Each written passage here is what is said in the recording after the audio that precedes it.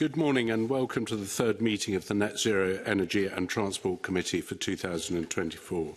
The first item on the agenda is consideration of whether we should take items 3 and 4 in private. Item 3 is to consider the evidence we will hear on the Scottish budget and item 4 is to consider the correspondence relating to the circular economy bill. Are we agreed to take that in private? We are agreed. Uh, the second item on agenda is a uh, item of business is an evidence session with the Scottish Government on its recently published budget for 2024 to 2025. Over the next couple of weeks, we'll hear from all three Cabinet Secretaries with responsibilities within our remit, uh, as well as the Deputy First Minister in her capacity as a Cabinet Secretary for Finance. For this item, I'm very pleased to welcome Shona Robeson, the Deputy First Minister, and Neil Gray, the Cabinet Secretary for Wellbeing, Economy, Fair Work and Energy. I'd also like to welcome Colin Cook, the Director of Economic Development, Philip Rains, the Deputy Director for Domestic Climate Change, uh, Susie Townsend, the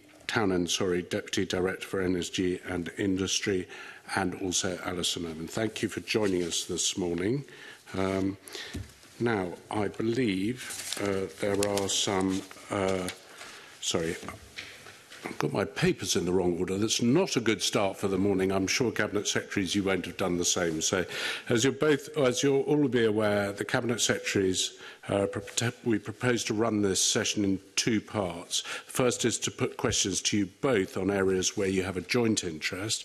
Deputy First Minister, we will then also have questions for you specifically on measuring climate change impact on the budget.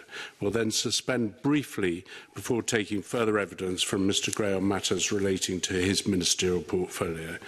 Uh, I expect both sessions probably last about an hour. Uh, before we move on to questions, Um, I'd invite you both, uh, if you'd like to make a brief opening statement. Uh, so, uh, Shona Robertson, would you like to lead off on that?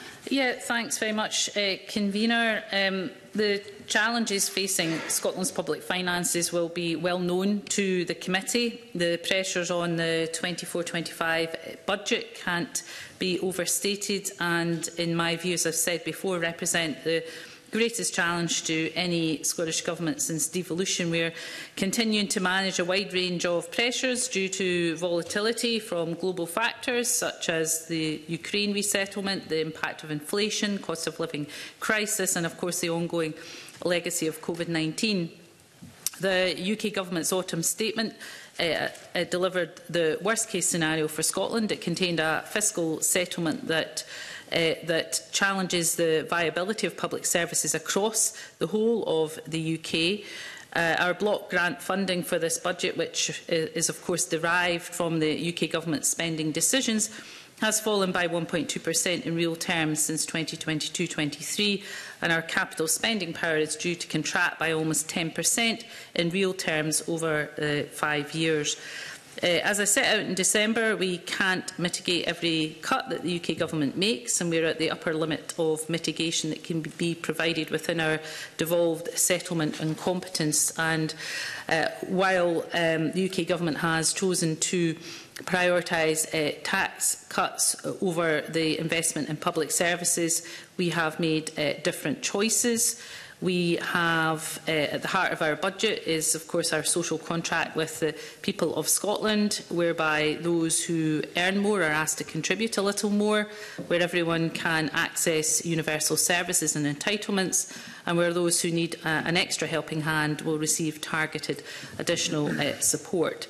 Uh, we've chosen to act to do everything in our power to protect public services. This includes a 6.3 billion investment in social security and more than 19.5 billion for health and social care, alongside record funding for local authorities and frontline police and fire services.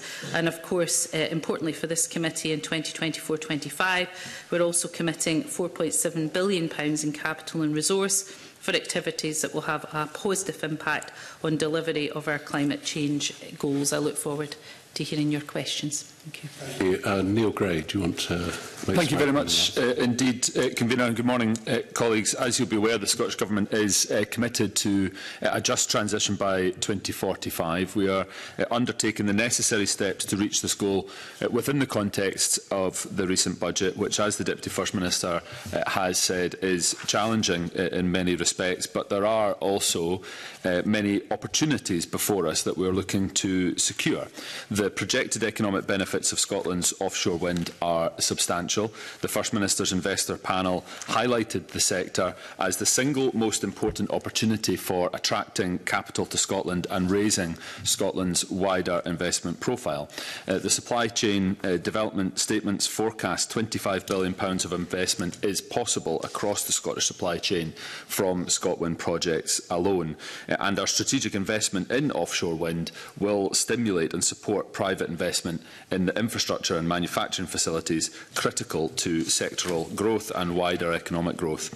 Uh, it will also support market certainty, uh, helping to create a highly productive, competitive economy, providing thousands uh, of new jobs, embedding innovation and boosting skills.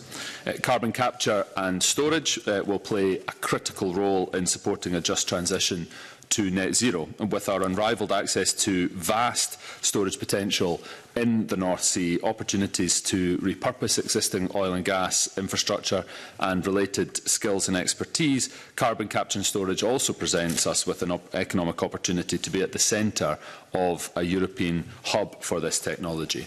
Our Hydrogen Action Plan sets out our commitment to support Scotland to become a leading hydrogen nation. We continue to engage actively with the sector and supply chain companies, and we will work closely with the UK Government on the necessary policy and regulations coming forward. We will also uh, continue to support hydrogen innovation through our Hydrogen Innovation Scheme, and the work on establishing the case for pipeline transportation of hydrogen from Scotland to Europe. We have been consistently clear that securing a long-term sustainable future for the Grangemouth industrial cluster is also of critical importance. We have committed to publishing a draft of the Grangemouth Just Transition Plan this spring and have been working with the industry, the community and the public sector on this. The Energy Transition Fund supports the north east of Scotland's eh, just transition away from reliance on oil and gas to renewables, and it supports four main projects, the Energy Transition Zone, hydrogen, the Aberdeen Hydrogen Hub, Net Zero Technology Transition program and Global Underwater Hub. Uh, the budget means that we will continue to support these projects, and like the Deputy First Minister, I also welcome the opportunity to meet the committee this morning to discuss my area's responsibility within the budget before us in more detail. Thank you, Convener. Very much, Neil. Before we go on to the questions, I think Alison, I owe you an apology. I didn't say that you were the chief executive of Transport Scotland, probably because I knew that, but in case anyone else didn't know that, that is effectively uh, what you're here representing. So I apologise for not saying that, and uh, I'll go to the first set of questions, which comes from Monica. Thank you, Convener, and good morning, Cabinet Secretaries and uh, all of our panel today. Um, I'll turn to the Deputy First Minister first of all. So thank you for your opening statements. Um, you've set out the challenges and pressures both in a, a global context and also um, more domestic issues. So I want to begin by asking how confident and certain are you that the spending decisions taken in the 24-25 budget set a course for meeting the interim 2030 emissions reduction targets for Scotland? So thanks for, for the question. Um, we have um, invested in 24-25, or we, we're committing uh, £4.7 billion pounds in capital and resource uh, for activities that will have a positive impact on delivering our climate change goals. Uh, as you know, we are um, enhancing the the, the way that we uh, categorise Scottish budget spend, um, the dedicated uh, climate annex J of the, the budget outlines what is a, an enhanced, um, as we say, taxonomy approach, but basically categorisation, um, setting out changes to the methodology to expand the, the use from just capital spend that was previously analysed to include resource spend, which I think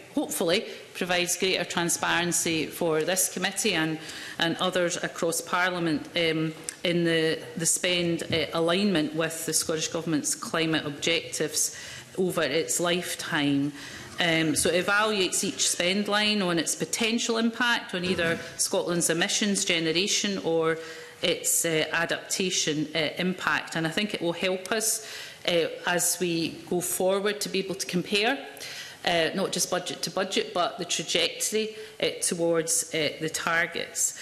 Um, so the detail is in Annex G um, that sets out across government in the various uh, portfolio areas, um, but the cumulative uh, £4.7 billion pound, uh, um, positive impact, I believe, will help us on our trajectory. We've got work to do, as every government does. Uh, it's a really challenging target, as you know.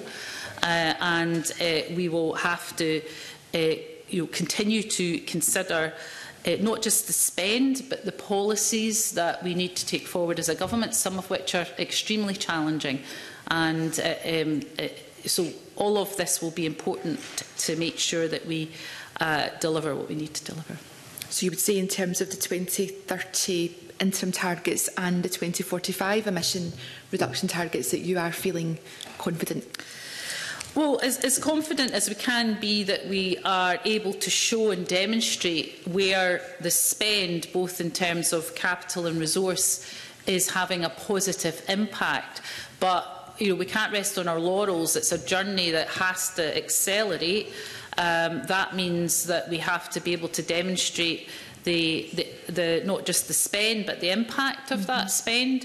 Um, and also that we are able to um, accelerate the, the changes that need to be made. Uh, these issues and challenges are not unique to Scotland. Every government around the world is wrestling with the competing demands of the here and now with the investment that needs to be made, whether that's in changing our transport system or in heats and buildings, uh, uh that, that, that competes with other priorities. So these are, are really difficult challenges. Uh, but I think that figure and the, and the enhanced way the budget is, is now presenting should give the, this committee and Parliament as a whole the ability to scrutinise that and to scrutinise the, the spending decisions that we're making. Thank you. One of the, I'll just give it one example then. So obviously government's got really important targets on native woodland creation it looks like you're cutting 33.6 million to Scottish Forestry. That's in addition to a 41% cut to funding for woodland creation schemes. Um, in terms of making the right impact,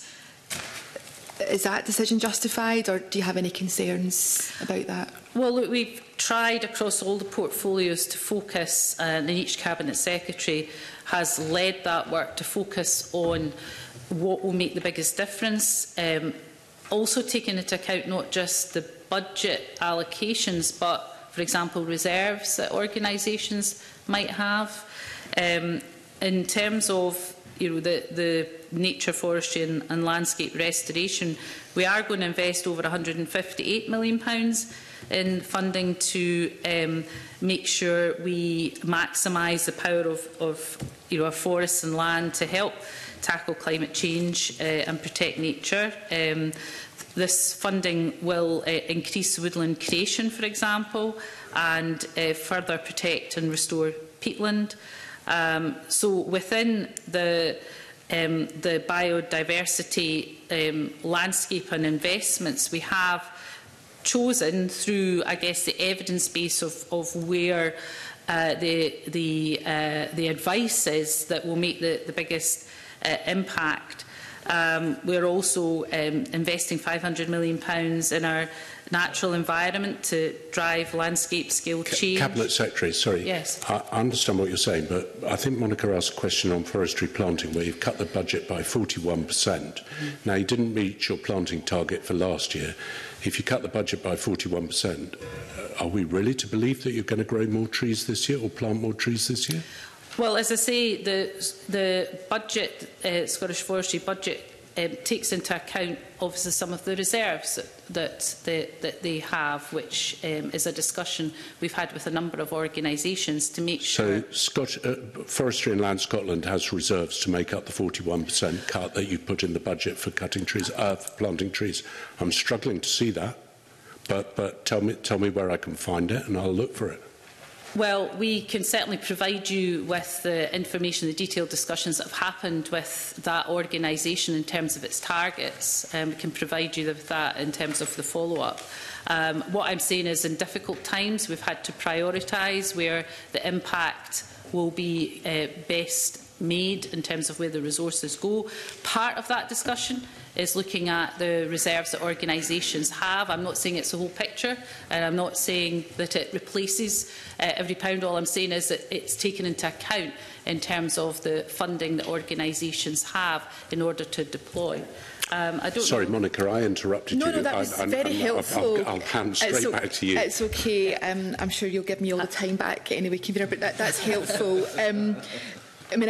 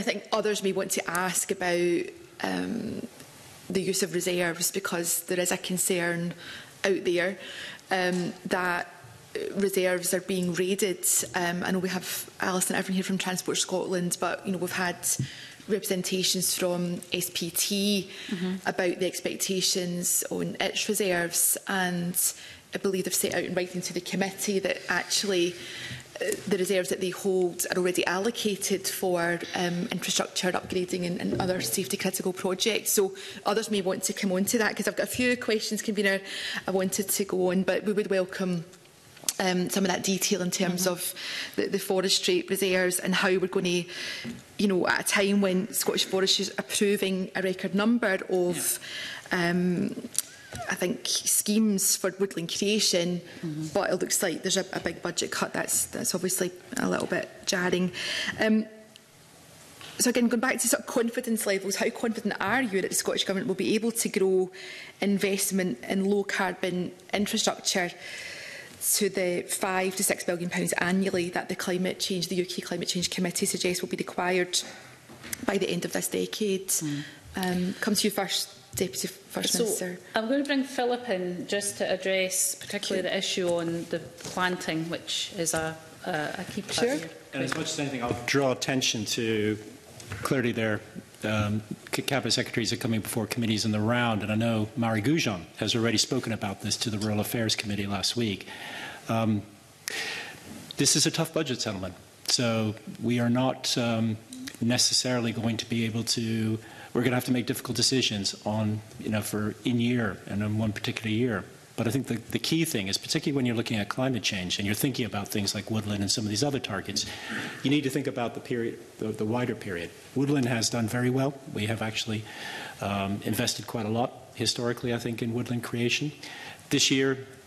this year is maybe a tougher settlement than others because decisions had to be taken about where the priority needed to be. Um, but going forward, we are very much focused on what is necessary for meeting that interim target for 2030 and that wider target at 2045. And I guess in summary, um, that you know there may not be a, a, a, an even kind of straight road of investment each year in the same organisation um, that will continue to grow. Um, it will fluctuate.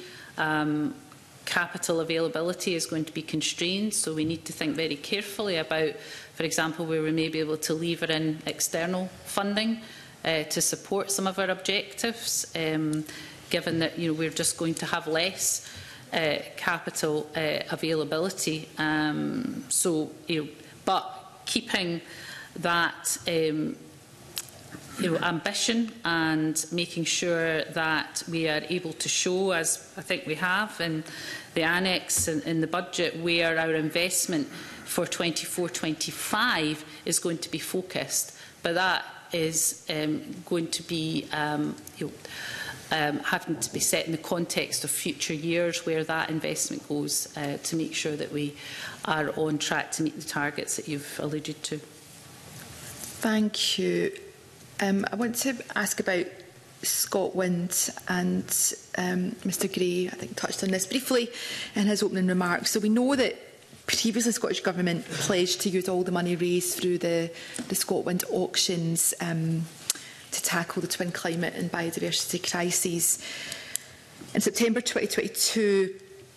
£56 million was, was utilised as part of the emergency budget review is it still your intention to, to reinstate that uh, and, and when? Sorry, 54 million, could you uh, just... Uh, I think it's 56 million. 56 million. That was um, part of the emergency budget review in 2022. For? So, the, the money um, that came in through the, the options on the, the ScotWind right. leasing So um, in terms of the, the money that's generated uh, from Scotland, uh, we are using that to support the budget. Um, there is um, at the moment, depending on where we end up with path to balance for 23-24, will determine how much of the Scotland monies generated are able to be deployed in 24-25. So um, uh, the, the, Scotland uh, resource has proven to be a really, really important resource in supporting the budget. Um, what I'm not able to tell you at the moment is how much of that will be able to be utilised for 24-25 because some of that is largely dependent on how much we need to draw down in 23-24 in terms of our path to balance. Once I'm in a position to know that, after we've had the supplementary estimates, the spring budget, I'll be able to inform the, the committee of, of how much will be available for uh, drawdown in 24-25, if that's helpful. Okay, yeah, I just want to better understand some of the figures. So that £56 million, pounds, maybe Mr Gray can, can help. So what, what has that been used for so far? Because that was back in 2022. What happened to the £56 million?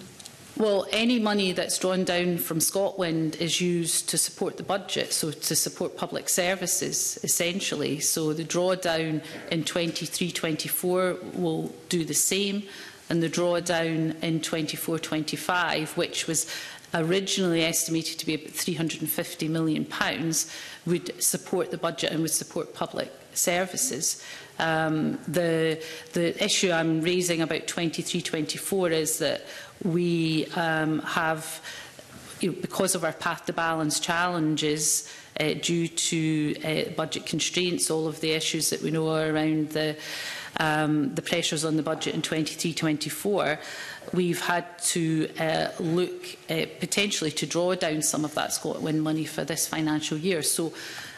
um, that is the position with Scotland for this year and next year. In terms of 22-23, um, I'm assuming that that drawdown would have been uh, for the same purpose, but we can come back and clarify that if it would, it would help yeah, I, I think we'd like to, to, to track that. So the there was media coverage just before Christmas, you know,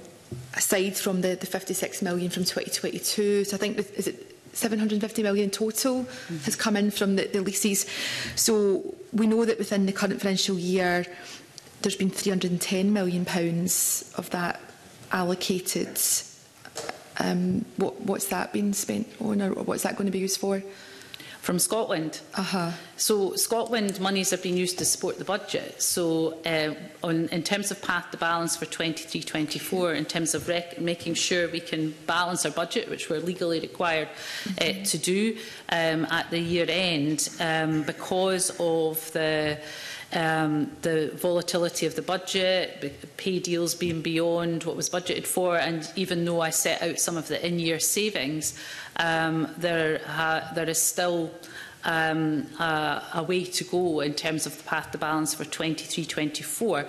I want to minimise any drawdown of Scotland because the more we draw down in 23-24, mm. the less is available for 24-25. And I had set out at the medium-term financial strategy yeah. last May that we had anticipated having 350 million available to us in 2024-25 to support the budget. So any of that I need to use in 23-24 to support the, achieving a balanced budget is money not available for 24-25. So you can see why we want to make sure that we minimise any usage mm -hmm. because that 350 million or whatever we end up being able to draw down for 24-25 is an essential part of, of the budget supporting okay. public services. Okay.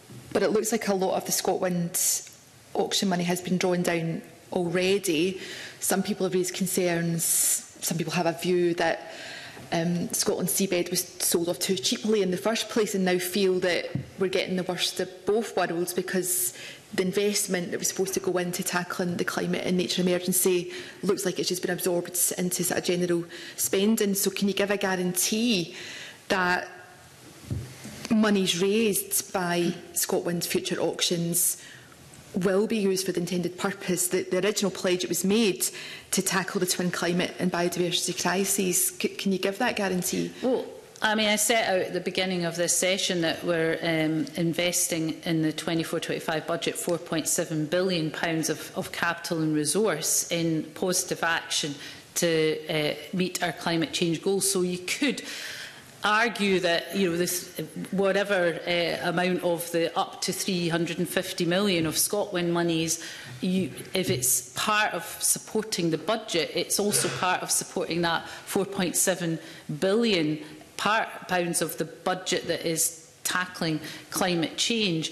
I guess my dilemma is, you know, in an ideal world uh, with, with funding not being so constrained, would we want to create a, you know, a different fund that is able to either um, you know, uh, pay almost like a sovereign wealth fund or something that would be very specifically geared to future action on climate.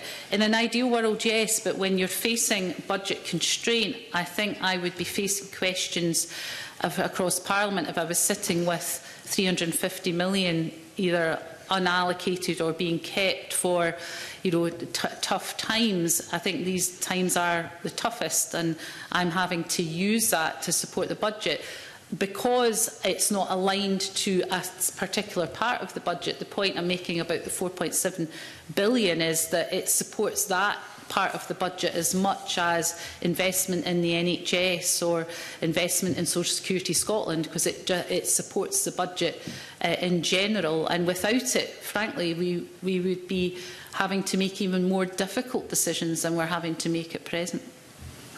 Um, no, again, thanks for reminding us all about the context in which we discuss these matters. We know uh, there's many, many challenges, but Cabinet Secretary, you talked about the methodology and the importance of mm -hmm. transparency in budgeting and being able to look line by line and see the impact.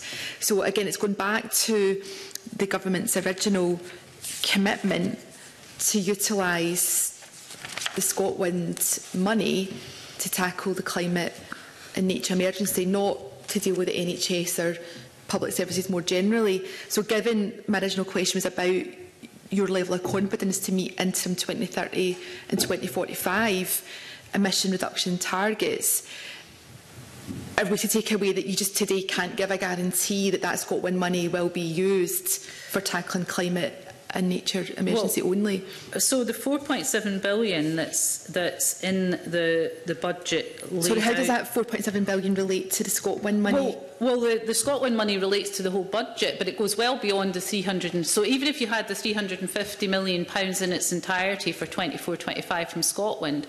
the 4.7 billion of capital and resource that is going to have a positive impact on climate change goals, goals goes well beyond the Scotland money that is being invested in the budget. So you know, we're, we're going way beyond uh, what the, the Scotland monies would allow us to invest in climate change objectives. We're putting a lot of Scottish Government both capital and resource into tackling climate change well beyond the 350 million. The point I'm making is if you're saying, you know, when we set out the budget, do we allocate that 350 million only as part of the £4.7 billion. pounds. No, it's allocated to the budget per se in terms of presentation. I, I don't have it as a, a, an element making up the 4.7 billion, but you, you could argue that it's part of the overall resource that allows us to put the 4.7 billion into cli our climate change action. Um, Convener, I know there's a lot of questions, so we haven't heard from Mr Gray, but I'm happy to hand back to you. I may come in later if that's okay. Okay, absolutely. And there's some Thank supplementaries you. on this. Um, I Douglas, uh, I wasn't sure if you were trying to catch my eye. Bob has definitely caught it, so he'll be after you if you were catching my eye, or if I've misread you, I'll it, eh, go straight to Bob. No, no, I, I had a, a question. Um, Deputy First Minister, you talk, you spoke about um, leveraging in external funds, and Scottish National Investment mm. Bank has got a mm. big role to, to play um, in that. Um, but we can see from the budget that the money um, that the bank will have to invest has been reduced by 24.6% in 24-25. So the question was, how does the funding to SNIB actually work? Is it, um, is it demand-led that they are expected not to be um, needing more cash to invest, or is it, you know, is there how much money they've got? Is it constrained by this budget um, process? And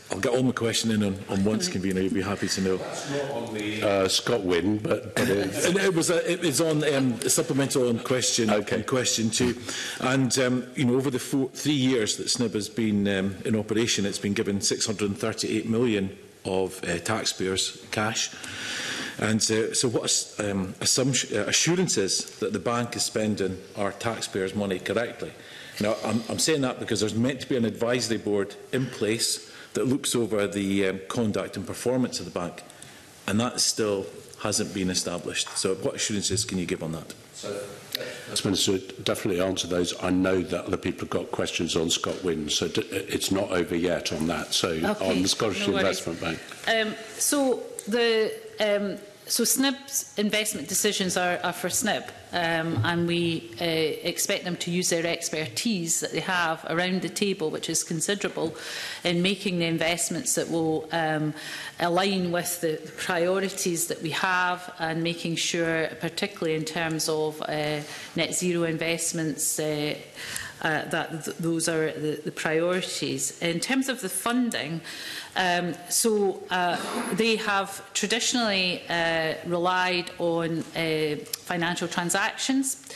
um, because they can make good use of financial transactions. FTs can be um, are a bit limited in where they can be deployed. So traditionally, affordable housing and SNIB have been the recipient of FTs. Unfortunately, The FTs uh, we uh, have had from the UK government have declined uh, significantly. Um, and uh, this year, I think uh, 24-25 in the region of 160 million, there, thereabouts. So we've taken the decision uh, to put all of the FTs to SNIP Uh, for their uh, investment uh, programme. That um, uh, is uh, so, so we would expect them to use uh, th that investment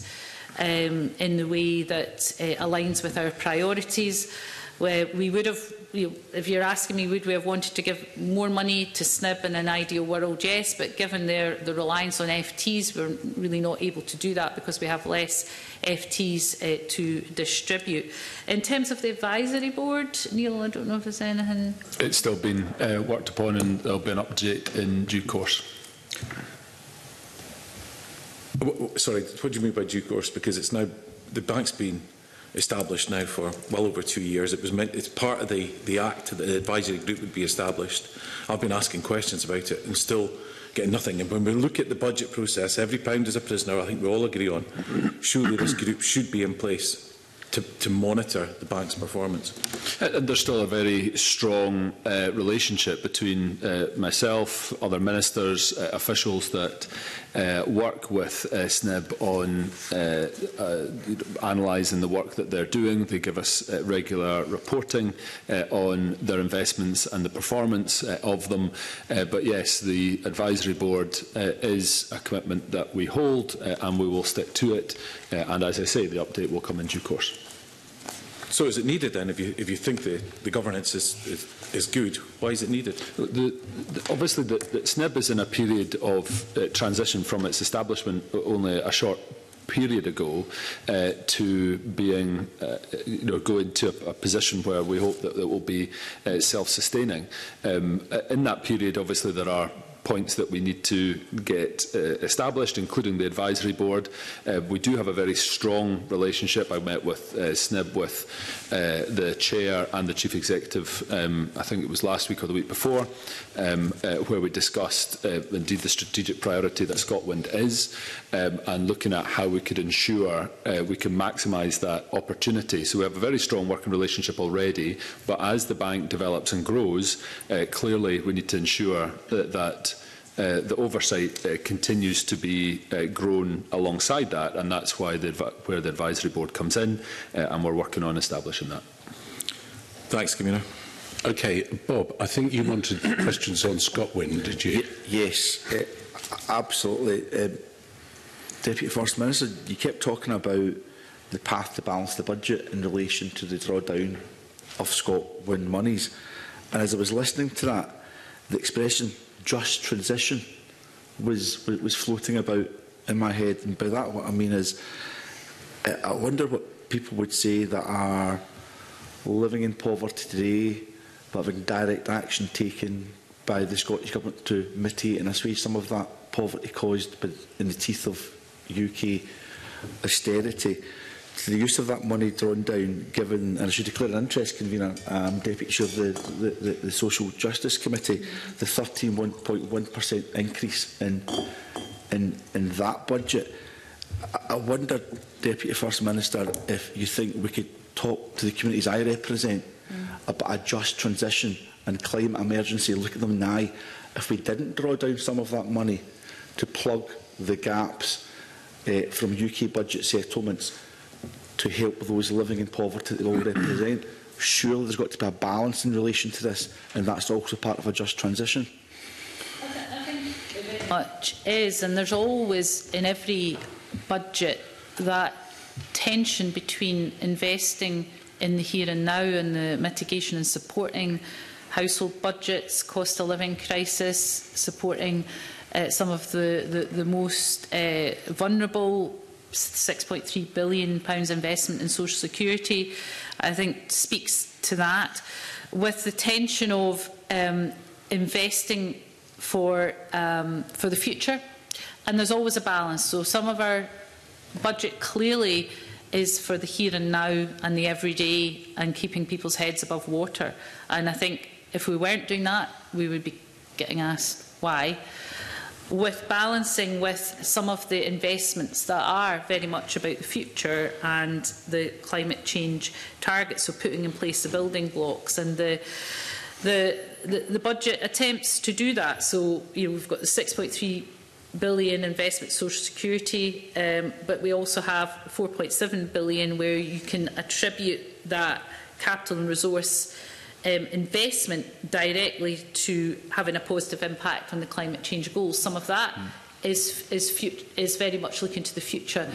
and the, you know, and some of that will be in the just transition um, uh, uh, area as well. So these are quite competing demands often that we have to wrestle with around the the cabinet table.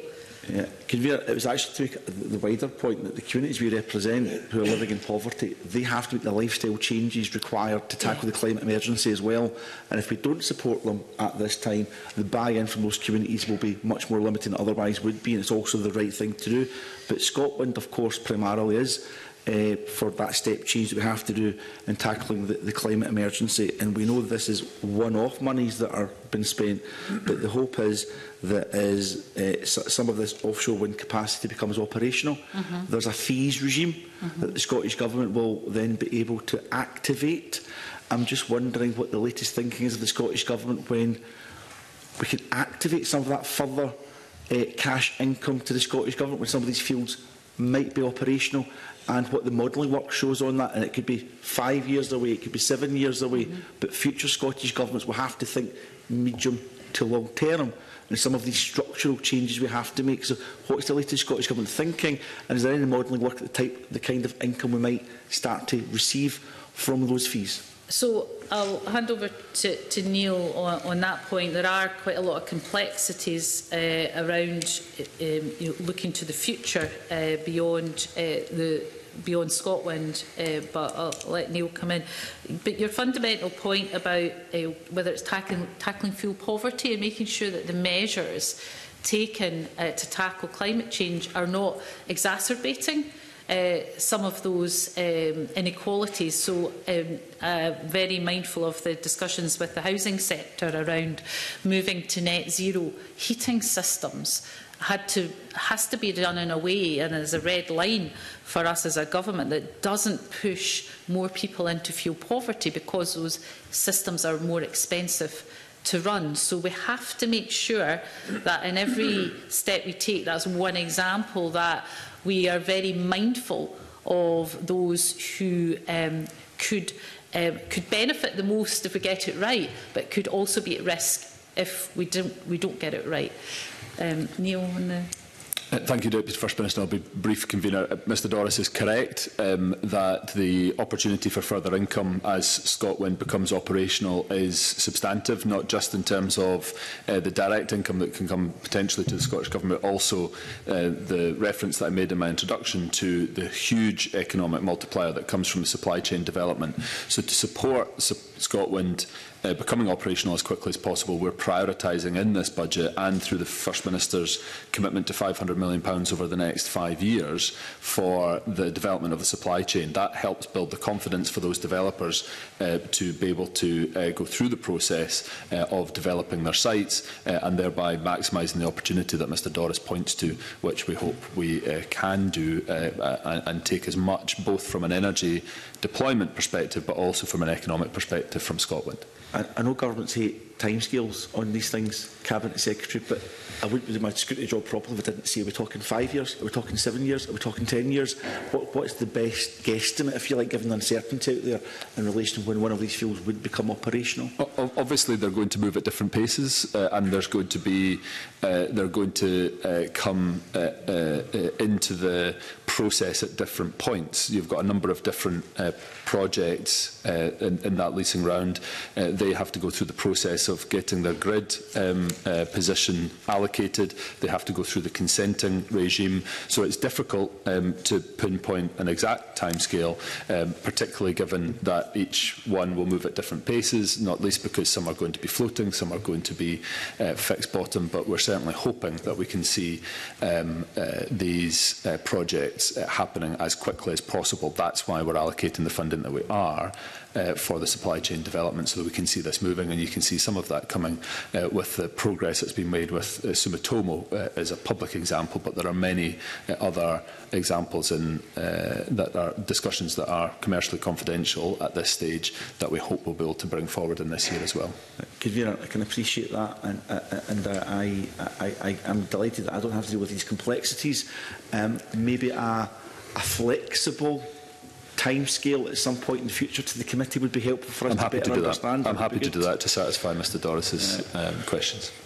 Okay, just before I ask some questions on Scotland, I, I just want to remind committee, I asked a question on woodland planting uh, grants or made a comment, uh, which Philip uh, responded to saying that it had done well in the past. Well, it's never reached its planting target in the past, but the point I want to make is that you as a committee know that I am a partner in a small farming partnership in Murray, and I can categorically say that in the last 10 years, uh, possibly longer even, but 10 years I haven't applied for a woodland planting grant, and I don't intend applying for one in the next 10 years. Uh, I'm, I'm growing crattle, not trees. So just so that that's clear, um, just go back to Scott Wind, if we may. Um, The option agreement, uh, all option agreements are time spanned, so uh, if they're going to take up their option, when have they got to take up their option by?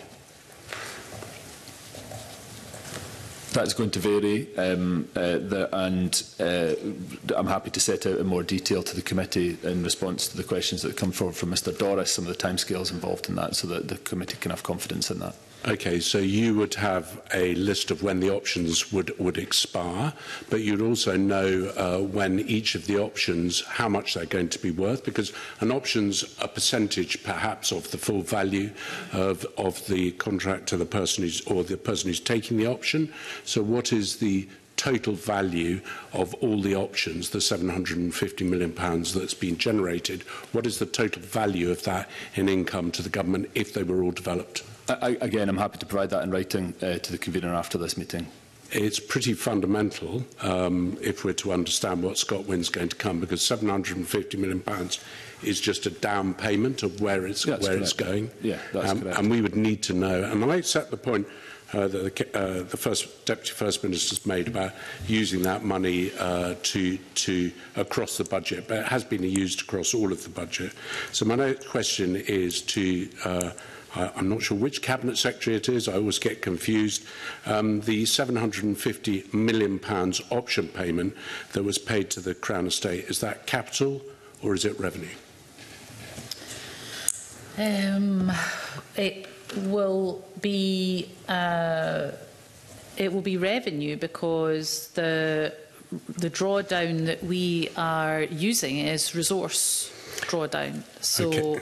Um, but I will come back to you if there's a capital element. But the money I was describing earlier on available to the budget is, is resource. I, I'm sure you check that because if it was a capital element by, by the law that's laid down, it would all have to remain within the Crown estate. Yeah. So you must so, you must be looking at it as partly revenue. Yeah. As part of the agreement that was made with Crown estate that a percentage of all revenue income can be maintained with the Crown estate budget, 9%. Are you, are you taking all of the £750 million, pounds, or are you going to give some of the Crown estate uh, as to keep within the budget to deploy as they see fit or, or not?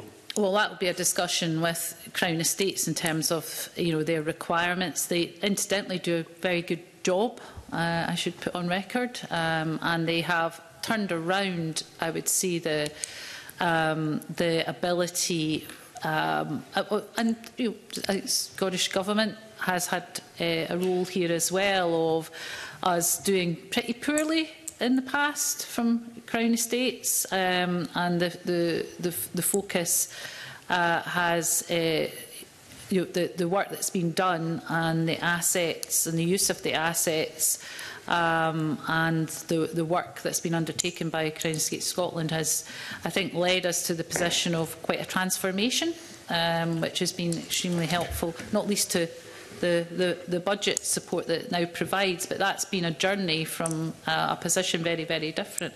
Um, I don't That's know probably anybody... because they never had £750 million pounds worth of income in, in, in one year. Their income has been mainly developed from uh, uh, uh, agricultural leases and some property leases, yes. of which some are in Murray, where I live, and, mm -hmm. and, and we're very grateful that the Crown Estate's there providing tenancies to people. But. Yeah, I think you're, in a, a basic answer to your question, you know, the, these are uh, negotiations, but we'll make sure that you know, Crown, you know, Crown Estate Scotland is it's important to me that they're able to continue to do the good job that they are doing. Okay, we're going to move on to the next questions, but just for clarity, what, what I've understood from that is you are going to say when the option payments uh, are going to come, how much that £750 million pounds is a percentage of the overall uh, money that received, how much the overall money will be on an annual basis, and you'll clarify whether any of the money that's been generated by the Crown Estate will stay within the Crown Estate or whether it will be given or taken or entirely by the Scottish Government government. That, yeah, that's we, We'll come back to you on as much of the detail. I'm sure the clerks will have made a note and will write to you, uh, Deputy First Minister. The next questions come from, I think it's Mark Ruskell. Mark, I think they're yours. Yeah, thanks very much. Um, so I'd like to rattle through some questions uh, with you and your team, Deputy First Minister, about the joint budget review. Mm -hmm. um, and if I could start just by asking for clarity as to, as to you know, whether it's yourself or whether it's the Cabinet Secretary for, for NZ, who's ultimately responsible uh, for that, that piece of work. Because I think we've had correspondence from, from both yourself yep. and, and from Ian McCallan as well. So just...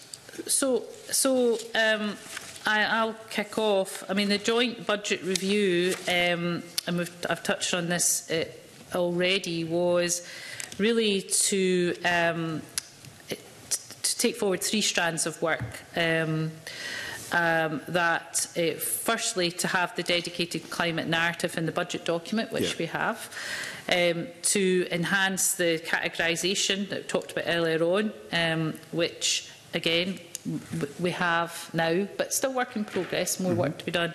And then the um, develop and implement a Scottish Government uh, wide net zero uh, assessment. Um, and essentially, that will be, I guess, what you could describe as an iterative process uh, with the intention being to roll it out across the wider Scottish Government from late 2024, so later on this year. And then following rollout, there'll be a review to ensure it's uh, fit for uh, purpose. So it's really trying, I guess, to um, to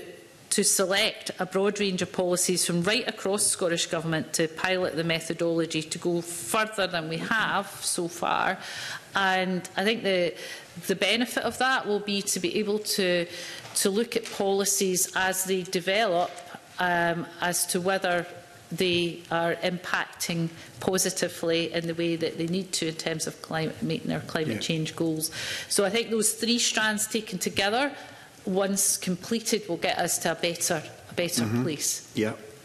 O okay, so, so but, but just in terms of the, the specific, because I think we just was wondering kind of who, who ultimately is responsible for that within government? Is that is that budget and therefore it's yourself, DFM, or is it Mary McCallum? Because we have had correspondence from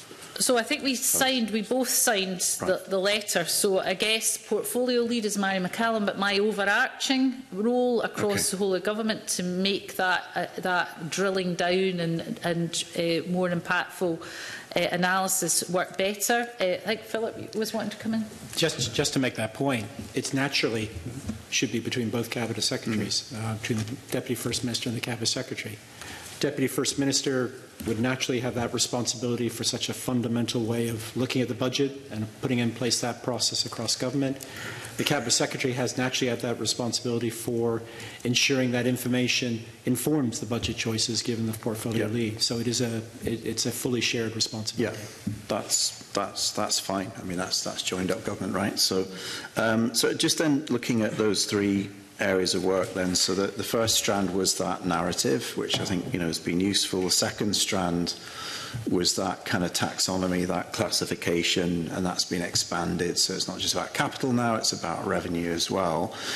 With with that second strand, is that is that kind of it now, or or is there going to be a you know further review of that? Is there going to be a further expansion of that that kind of work, that kind of transparency? Um, So, um, so I think it will be um, uh, work in progress to make sure that as we go forward and are able to compare budget to budget, for example, it will show, it will be able to provide more of a, a, a, a monitoring of, you know, are we making the improvements we need to make? Um, you know, the new methodology um, does evaluate each spending line on its, as I said earlier, potential impact either on the emission side or the uh, adaptation uh, impact. Um, and I think just to, to share with you the, the capital um, and financial transactions funding position for 24-25 is uh, 6.4 billion and it apportions around 42% of spend to positive activities. Uh, in absolute terms, um, that's around uh, 2.7 billion for positive spend for climate. There's a lot, I guess, what you would describe as in, in the neutral space.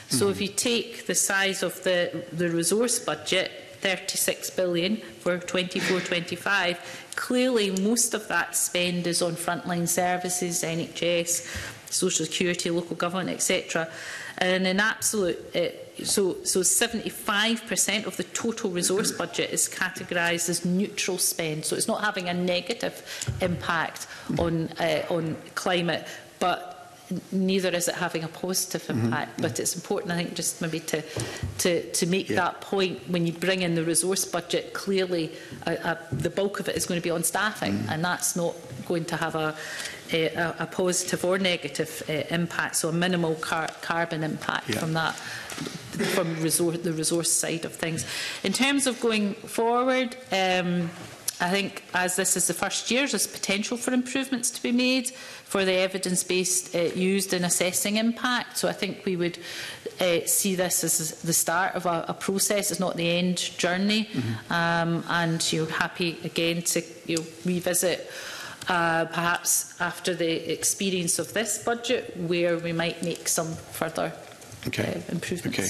And I think you mentioned at the beginning there that Annex J, which mm -hmm. is a, a pretty useful spreadsheet where you can find out those policies that are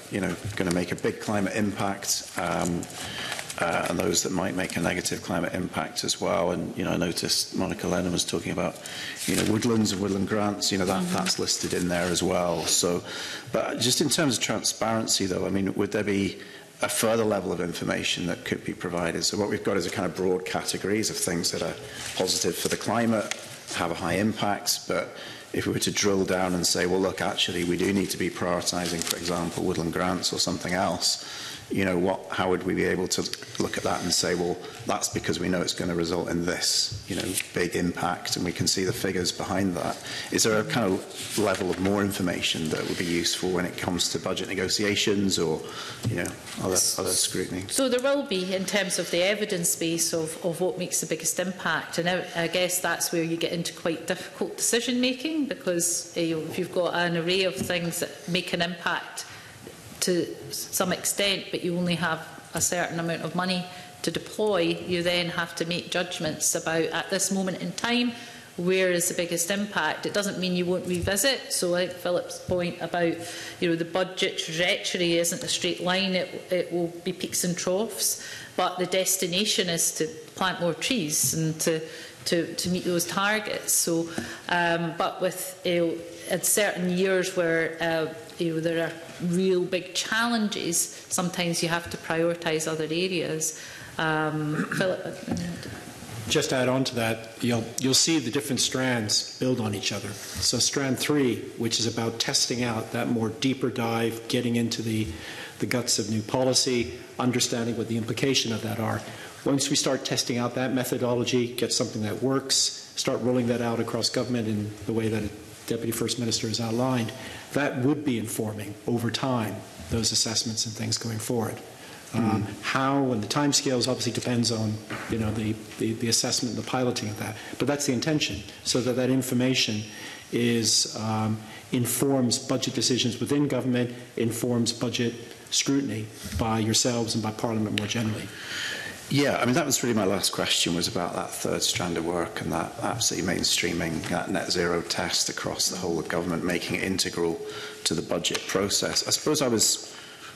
I suppose, a little bit concerned by the response that we had from, from Mary McCallum, which seemed to suggest that it, it wouldn't be intrinsic to the annual budget setting process, that, that net zero test. But I, I don't know, I'm, I'm getting a slightly, slightly more nuanced position from yourself, DFM, around that, in that it's being piloted, it's being extended across government, but you know, ultimately it needs to be there, even though it's not the only consideration when it comes to spend. Yeah, I guess I couldn't hand on heart say that it's all going to be fully functioning across every line, every policy decision by the time of the next budget. Probably not, because it's complex. But I think we're on a journey that is very much about at all stages, so at the policy development stage as well as the, the negotiations around you know, it is a policy that is agreed and what amount of money are we going to spend on it. So I think embedding that right from the start of, you know, when we're looking at policy, um, what is the analysis in terms of the, of the impact and being mm. able to set that out. Yeah. Okay.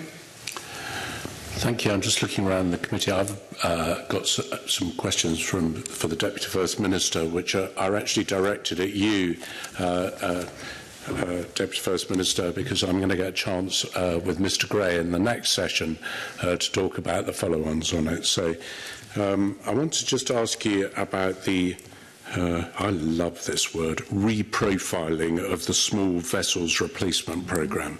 Reprofiling means cutting. Um, so what is it, what is it going to, what effect is that reprofiling going to have on the viability of Ferguson Marine Shipyard? What's your assessment, Deputy First Minister? So in terms of, um, and this was, um, we talked about this uh, a few months ago um, when um, we were looking at the uh, outcomes of the, the small vessels replacement programme. Uh, phase one, uh, the outline business case work, which was presented at the end of 2023, um, and um, subject to appro approvals and procurement, this could see the delivery of the seven new small vessels between 26 and 2028. The reprofiling um, was due to the stage at which the, the, uh, the discussions had got to in terms of the details. So the funding really follows where the contracts and negotiations are at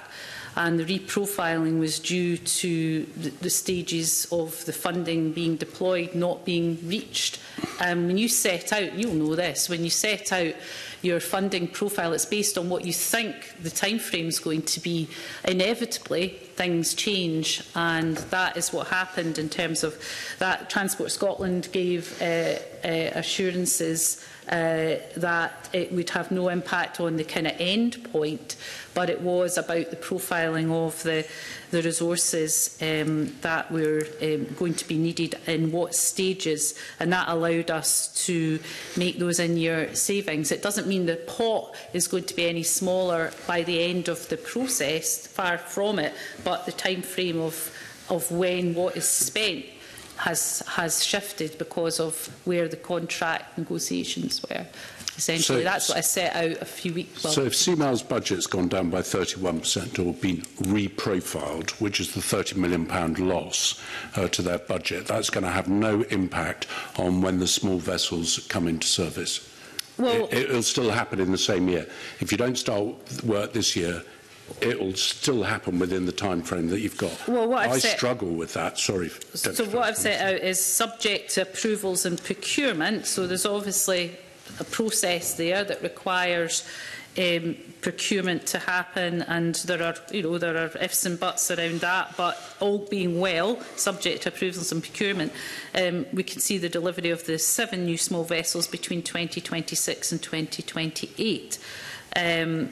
and you know, that is the, the, the, the plan. Um, and you know, if there are any changes to that, of course, uh, we would uh, bring bring that uh, to the attention of of Parliament. But uh, that that is the intention, um, and uh, you know, we'll be able to provide uh, updates uh, as soon as possible uh, once we have those key planks of uh, of uh, the process um, going forward, and we'll, we'll happy to keep Parliament so, updated. So, what what do you perceive is is the the risk to Ferguson Marine Shipyard by losing potentially 30 million pounds in this year to build those vessels? Is that a risk, or is that not a risk? Do you want to? Uh, I, I'm going to get a chance at Mr Gray afterwards. I, I, I, you will have made the decision as Finance Secretary. I'm looking for well, you for the answer to that, if I may, Deputy First Minister. Well, the profiling of the funds that are required uh, by Ferguson Marine uh, are part of the negotiation with Ferguson Marine in terms of what is required when. Um, there has been a lot of attention given to the, the funding uh, profile uh, of, of what has uh, been required, what has been spent, shaped. Uh, I think probably more attention than, than many uh, areas of, of, uh, of Scottish Government investment. So, you know, when we um, and you know, I'm uh, Neil will be able to give more detail, but when we um, negotiate with any uh, organisation that is receiving uh, public money, um, that is a negotiation about what is required for that particular year to deliver what they're saying they're going to deliver.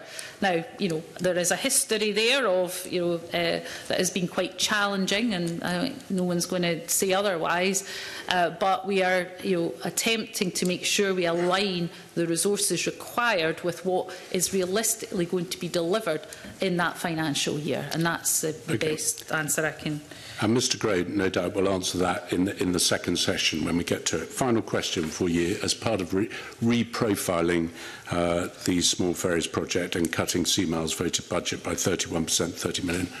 What effect is that going to have on the harbour's works that need to be undertaken to ensure that the very ferries that we've talked about being so delayed actually are capable of coming into service? I think there's problems at Drossen just this morning with, with well, this weekend with the, with the pier.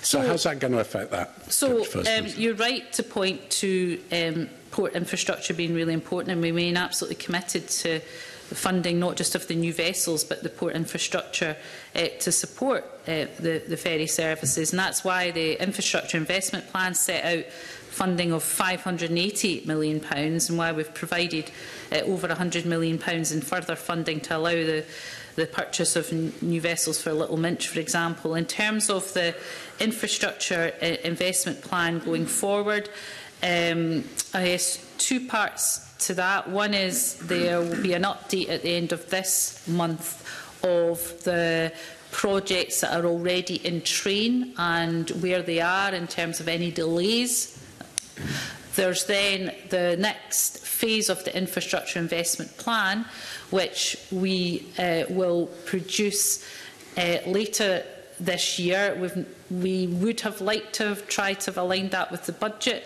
but as you appreciate, there are quite a lot of uncertainties given the capital outlook, um, the position with the spring budget in terms of where that leaves us with capital uh, funding. Um, but we will set out the, the next iteration of the infrastructure investment plan. There's no doubt that the capital budgets going down is going to have an impact across the board, but what we need to make sure is that where we're investing in new vessels, clearly the port infrastructure has to be there to make sure that those new vessels um, have the, the correct infrastructure required for those vessels. So um, that is a, an important priority. As we get the detail in terms of any changes, any amendments uh, to the infrastructure investment plan, you've mentioned one or two of the, the port infrastructure. There is a, there are a number. Um, then you know we, we're very happy to provide you with that detail, but the, the, the publication will be later this year and I think that will all be decided on a CMAL board meeting, which I think is at the end of this week, unless I've got the dates wildly wrong. And maybe islanders can look forward to drawing down some of the ScotWind money uh, to help with making sure that their ports are up to speed. Anyway, that's all in the future. Thank you very much, uh, Deputy First Minister. We are going to briefly suspend the meeting uh, to allow you to move on to your next committee, I think you're going to, and so far I'd ask committee members to be back at 10.30 and I now suspend the meeting. Thank you.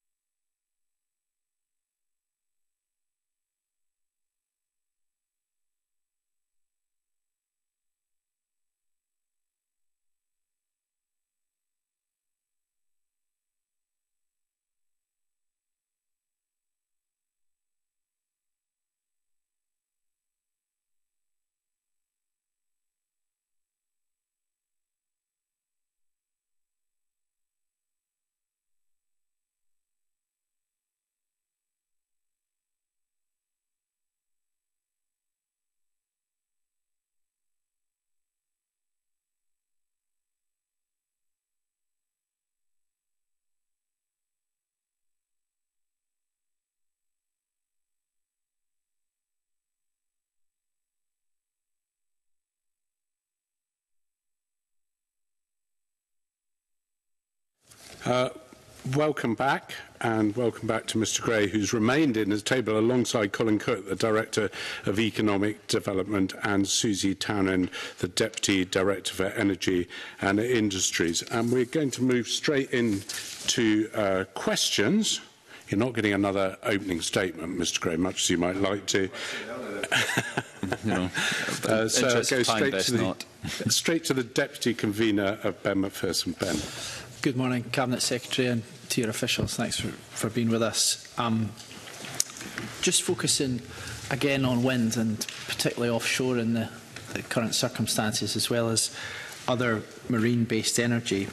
Um, with respect to your commitment to have the consenting times for renewables uh, projects, what plans uh, have you for improving the resource that local authorities need to reduce the amount of time taken to assess planning applications for new energy projects. That's within local authorities, and I have some questions about other licensing bodies mm. in due course. I, I appreciate uh, Mr McPherson's question. Um, for clarity, our uh, commitment to halving the consenting time is for onshore wind. It's part of the onshore wind uh, sector deal, uh, where although we cannot mandate developers uh, in this area, we've got an agreement from them to consult communities at an earlier stage of their development and to uh, come forward with uh, a commitment on uh, community benefit, which is uh, both generous and we ask them to be more strategic uh, in the way that that community benefit is being derived. And in return, we are looking at how we can uh, half the consenting time for onshore wind. That's an important distinction because um, onshore wind uh, is clearly from a planning and consenting perspective at a far more advanced stage. People are far more are, are far better versed reversed in the processes uh, for that, both developers and uh, uh, planning officials uh, and those from the regulated bodies, um, than is the case for offshore uh, wind or indeed uh, other marine energy. Uh, but I am also aware of uh, alongside access to grid, which is actually probably the biggest barrier to investment uh, that we face for offshore renewables, um, uh, consenting uh, is uh, and providing as much certainty as possible is one of the greatest asks of industry. So uh, we are looking at what we can do uh, in that space to uh, uh, streamline that process whilst also making sure that we're balancing that streamlining with the need to ensure that we're taking environmental considerations uh, seriously. Um, uh, and uh, in terms of uh, what we're doing through this budget to try to ensure that uh, planning authorities uh, are able to deal with that, the Deputy First Minister uh, had uh, made a reference in our budget statement to us looking to work with industry to improve the, the support that's available for planning authorities, and that work is uh, under early consideration uh, as how we can move forward the planning processes in general, not just for renewables, uh, but for all projects, and supporting local authorities in that regard. And I think both in professional services and within local authorities, it's important to acknowledge the expertise and high level of skill that we have in Scotland that's been developed over a long period of, Absolutely. Of time. And that's actually one of Scotland's real assets in its renewable development. Um, th thanks for your answer there, uh, Cabinet Secretary. And uh, you, you spoke about offshore wind, um, but the, the issue that I'm going to raise is also relevant to port development, for example. I had this experience with the Port of Leith becoming a renewables hub, um, and that, that project's well underway now um, and being consented. Uh, but during that process, there was some concern about the time taken from Marine Scotland to um, deliver the necessary consenting uh, uh, validations. Um, so in terms of the licensing operations team within Marine Scotland, the government considered how it's going to make sure that that's uh, effectively resourced in the period ahead, given how essential that is for consenting uh, offshore wind uh, uh, and rightly you know we want to do this thoroughly and robustly and appropriately in terms of the environmental considerations but where projects are compliant we want those licenses to be issued as timidly as possible whether that's for offshore wind um, for tidal energy. Mm. I'm going to write to you shortly about Nova Innovation in my constituency, which I know you've mm -hmm. you've uh, visited, and they're looking to deploy in in Orkney, but are are, are still waiting the necessary consenting, um, uh, along with other partners, I should say. H how do we improve this situation to make sure that we we really uh, maximise the, both the determination that there is by investors to make projects happen, but also undertake the processes thoroughly and appreciate we're going to need to grow the skills base in this area, and mm. that takes a bit of time. Mm. But how do we how do we make it happen?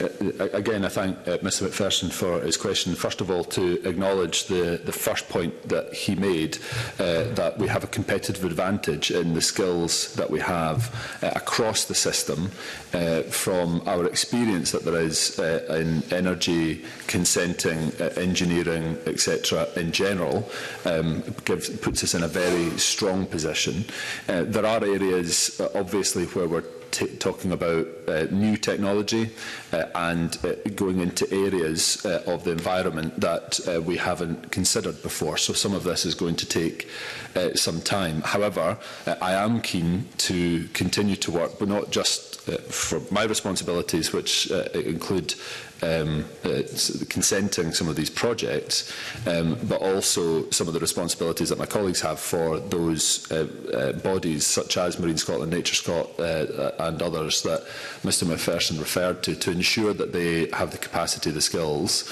uh, uh, and experience and uh, the direction uh, to uh, ensure that we are balancing the consenting requirements, we're taking Uh, sometimes competing environmental considerations, um, you know, looking at our climate change responsibilities, but also making sure we're protecting seabirds, for instance, um, are, uh, which are uh, competing demands uh, in some areas. Uh, but taking those seriously uh, and looking to provide as much certainty as possible for industry, uh, and uh, as Mr McPherson puts it, uh, provide Timaeus responses. Uh, I am very well aware of uh, Nova Innovation, uh, a, a phenomenal uh, success story um, and uh, a, a really strong brand that is becoming internationally recognised. It obviously wouldn't be appropriate for me to discuss uh, individual applications. Um, but in general terms, uh, I say that we would look to provide consenting in a, in a timorous fashion uh, and to do so in a way that is demonstrably fair and, and compliant with uh, the regime that we have set out. Thank you, Cabinet Secretary. And, um, as we move further into this new year towards the spring, um, the UK government's sixth contract for difference auction round is uh, something that's Uh, very important to, to the renewables industry in Scotland in terms of making sure that we maximise that opportunity and, and that involves TIMIAS consenting um, for uh, those projects that are that are relevant and looking to benefit from that but also the contracts for difference auction round A6 could be um, not just a huge opportunity to drive forward renewable uh, deployment um, but also to move beyond the, the, the, the mishap, quite frankly, of uh, eh, AR5. So I know you've, you're very engaged on this issue, but just if you could set out to Parliament what the government is doing to impress upon the UK government that it needs to set an ambitious target mm. and budget, uh, eh, rather, ambitious budget rather, uh, for the auction and make sure that Scotland can maximise the opportunity by having as many projects eligible for the auction as possible. Uh, Mr McPherson hits upon a, a critical uh, area of uh, decision making that's going to be coming down the tracks this year. Um, I'm very pleased, uh, first of all, that the strike price that has been set by the UK government uh, is uh, one that answers the industry's concerns uh, and the reason why AR5 was such a missed uh, opportunity, particularly for offshore wind. Um, and uh, we, uh, along with industry, impressed upon the UK government the need to ensure that they got the strike price right. I think we have agreement um, that uh, they have taken that very seriously and, and have responded accordingly, which I'm very pleased about and put on record once again uh, that that has happened. The UK government has, has taken that approach. The next challenge is, as Mr McPherson sets out, the qu overall quantum that is going to be available in AR6 um, and for us to make up for what happened in AR5, it's going to be important that the quantum is sufficient to be able to allow progress to be made, particularly for Scotland, but also for the, some of the other technologies coming through that we did see in AR5 as a result of, of offshore wind uh, not being there. So some of the projects on marine energy, such as uh, wave and tidal, that we see saw come through for the first time. Um, there is another element that uh, is going to be a difficult balancing act because we need to make sure uh, that uh, we are fairly balanced balancing can be the uh, interests of ensuring we get uh, price um, at uh, a good level, but also that we are encouraging the economic opportunity that comes from developing the supply chain, so non-price factors being part of the consideration of AR6. Um, and I hope um, that there will be continued uh, engagement between uh, UK ministers uh, and uh, myself uh, uh, and Gillian Martin, uh, Energy Minister, but also uh, at official level as well, so we can make sure that this massive opportunity that we have, both offshore wind, Scotland, is being, you know, right up there as being, uh, as I said, from the investor panel's perspective, the top uh, economic opportunity for inward investment, investment of capital, uh, but also other areas of marine energy to ensure that we uh, take our uh, opportunities uh, uh, they are, grasp them uh, and ensure there is demonstrable benefit to our people. Thank you, and I feel reassured from your answers because um, 2024 is a, a huge year of opportunity if AR6 is right and the consenting processes can be um, somewhat improved. There's there's huge potential to build on, and and rightly um, both um, just a few moments ago and in the first session, uh, Cabinet Secretary, you, you emphasized the, the huge opportunities for the supply chain mm. um, across across the country, from the Port of Leith to the to the north of Scotland. Um, but could you provide a bit more detail on how the nearly 70 million for offshore supply chain support will be spent, just to, to bring that, that, that figure to life? Mm. Um, as I know this is designed to leverage private investment, which uh, is looking for opportunities to, to engage in our, our renewable sector. Uh, and just in your view, uh, appreciate uh, this will need to be a, a general figure, um, but what would you consider a good ratio of private to public investment leveraged from these funds? Uh, uh, I appreciate um, Mr McPherson has a, has a direct interest in the Port of Leith. Um, I would say that there are other ports available and there's going to be plenty of work uh, to go round uh, of all course, of them. Of um, but port, the Port of Leith uh, has obviously huge opportunities uh, given its uh, location, its geography, it's also its capacity uh, and the fact that it is uh, a green free port uh, to be able to take advantage of um, the opportunities that are coming from uh, developing a, a, a Scottish uh, renewable supply chain. Um, there are a number of areas that I would, I would wish to pick up upon there. The, the developing the supply chain, a Scottish-based supply chain for our uh, renewables industry in general, but offshore wind in particular, um, is one of the greatest economic opportunities that we have. I take it incredibly seriously. Um, it's why the First Minister came forward with the £500 million uh, commitment, um, which has been welcomed by industry as not just giving uh, certainty but confidence to investors that we are taking this issue seriously. Um, I'm going to be looking to develop upon that with colleagues uh, on uh, uh coming forward with the uh, green industrial strategy uh, by this summer, which is going to take the decisions and, and set Uh, a pathway for how we develop the supply chain, what it, look like, what it looks like, what areas we'll be looking to prioritise. Uh, I think if we've got that right, we're not going to be pleasing everybody. Um, we're going to have to prioritise where the public funding goes, uh, and that will be partly considered through the Green Industrial Strategy. Um, there's also the strategic investment model uh, that Gillian Martin uh, took forward uh, last year, uh, which again has uh, a huge amount of potential within it, including uh, port, harbour infrastructure uh, and other elements uh, to come through, uh, which enable some of the supply chain opportunities to be realised. Uh, so we're working on that uh, collaboratively uh, across government, as Mr McPherson would expect, uh, and also with industry partners to ensure that we are getting this right to maximise, as I say, the economic opportunities that come through here, but also to facilitate and enable the developers to come forward, particularly for Scotland, at the earliest opportunity. Just on that ratio point, that question, do you, do you have a I, I don't have a figure. Uh, I don't have yeah. a figure in my head. Obviously, there are the likes of SNB and Scottish Enterprise and other investors have um, have to consider this, and, and some have uh, stringent targets upon this. I'd be happy to give a more considered view uh, back in writing as part of the further uh, information that I have uh, committed to in the previous session. Thank you, Cabinet Secretary. And I do I do think it's important for Parliament to keep in mind this, the, the huge opportunity to unlock private mm. investment uh, with public investment. Uh, and and that's, of course, part of the intention of the government. Just before I, I, I allow our colleagues to come in on these, these issues, given the, the prominence um, that has been emphasised to me by, by some in the renewable sector, and I'm sure the Cabinet Secretary as well, of the considerations around Berwick Bank. I appreciate the Cabinet Secretary won't be able to speak about a, a, a process that's under consideration by, by uh, consenting bodies, but I just wondered if you wanted to, to touch on that proposal at all, just given the, the significance and the scale.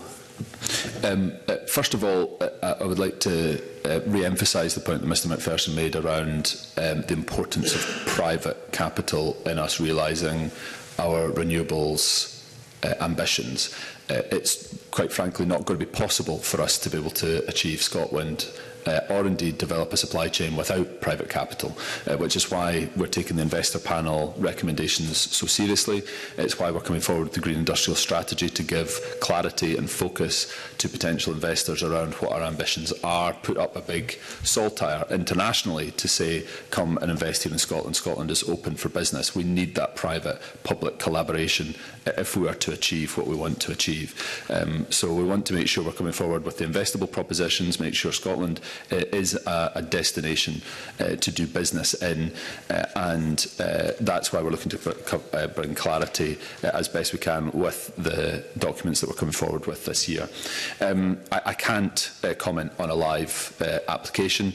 it would be completely inappropriate for me to do so, as Mr McPherson has alluded to, um, except to say that that process is ongoing. Thank you. I think that was a nice try of Mr McPherson, uh, I think is what you're being told there. Uh, Bob, you've got some questions. Then I've got uh, Mark Ruskell wants to have some follow-up and some, and some from Monica. So if you go, go first and then followed by Mark. Uh, thank you, Convener. Uh, Cabinet Secretary, uh, just rewinding a little bit, it was in Ms McPherson's line of questioning about speeding up uh, consents and local authorities to, to go quicker in relation to that. I'm, I'm conscious for larger projects that are decided at a national level that energy consent unit would would deal with a lot of that and I see from my briefing that the fees regime should make the running of that unit cost neutral. How do we make sure that it's cost neutral for local authorities and that they're appropriately staffed with the correct expertise to, mm. to, to speed up that process Because eh, uh, a lot of upfront costs, I would imagine, to like, resource local authorities to do that. So mm. how does this budget uh, secure Uh, the, the investment in local authorities that they'll undoubtedly need. Uh, Mr Doris is absolutely right and, and uh, part of the reason uh, why I, I am so interested in uh, what the Deputy First Minister has committed us to look at around uh, support for the planning functions uh, that local authorities are responsible for is precisely that point that we're going to see uh, some local authorities uh, who are going to have to deal with uh, you know, large, complex planning applications in the energy, uh, in some cases in the energy, in some cases in the infrastructure um, uh, uh, space.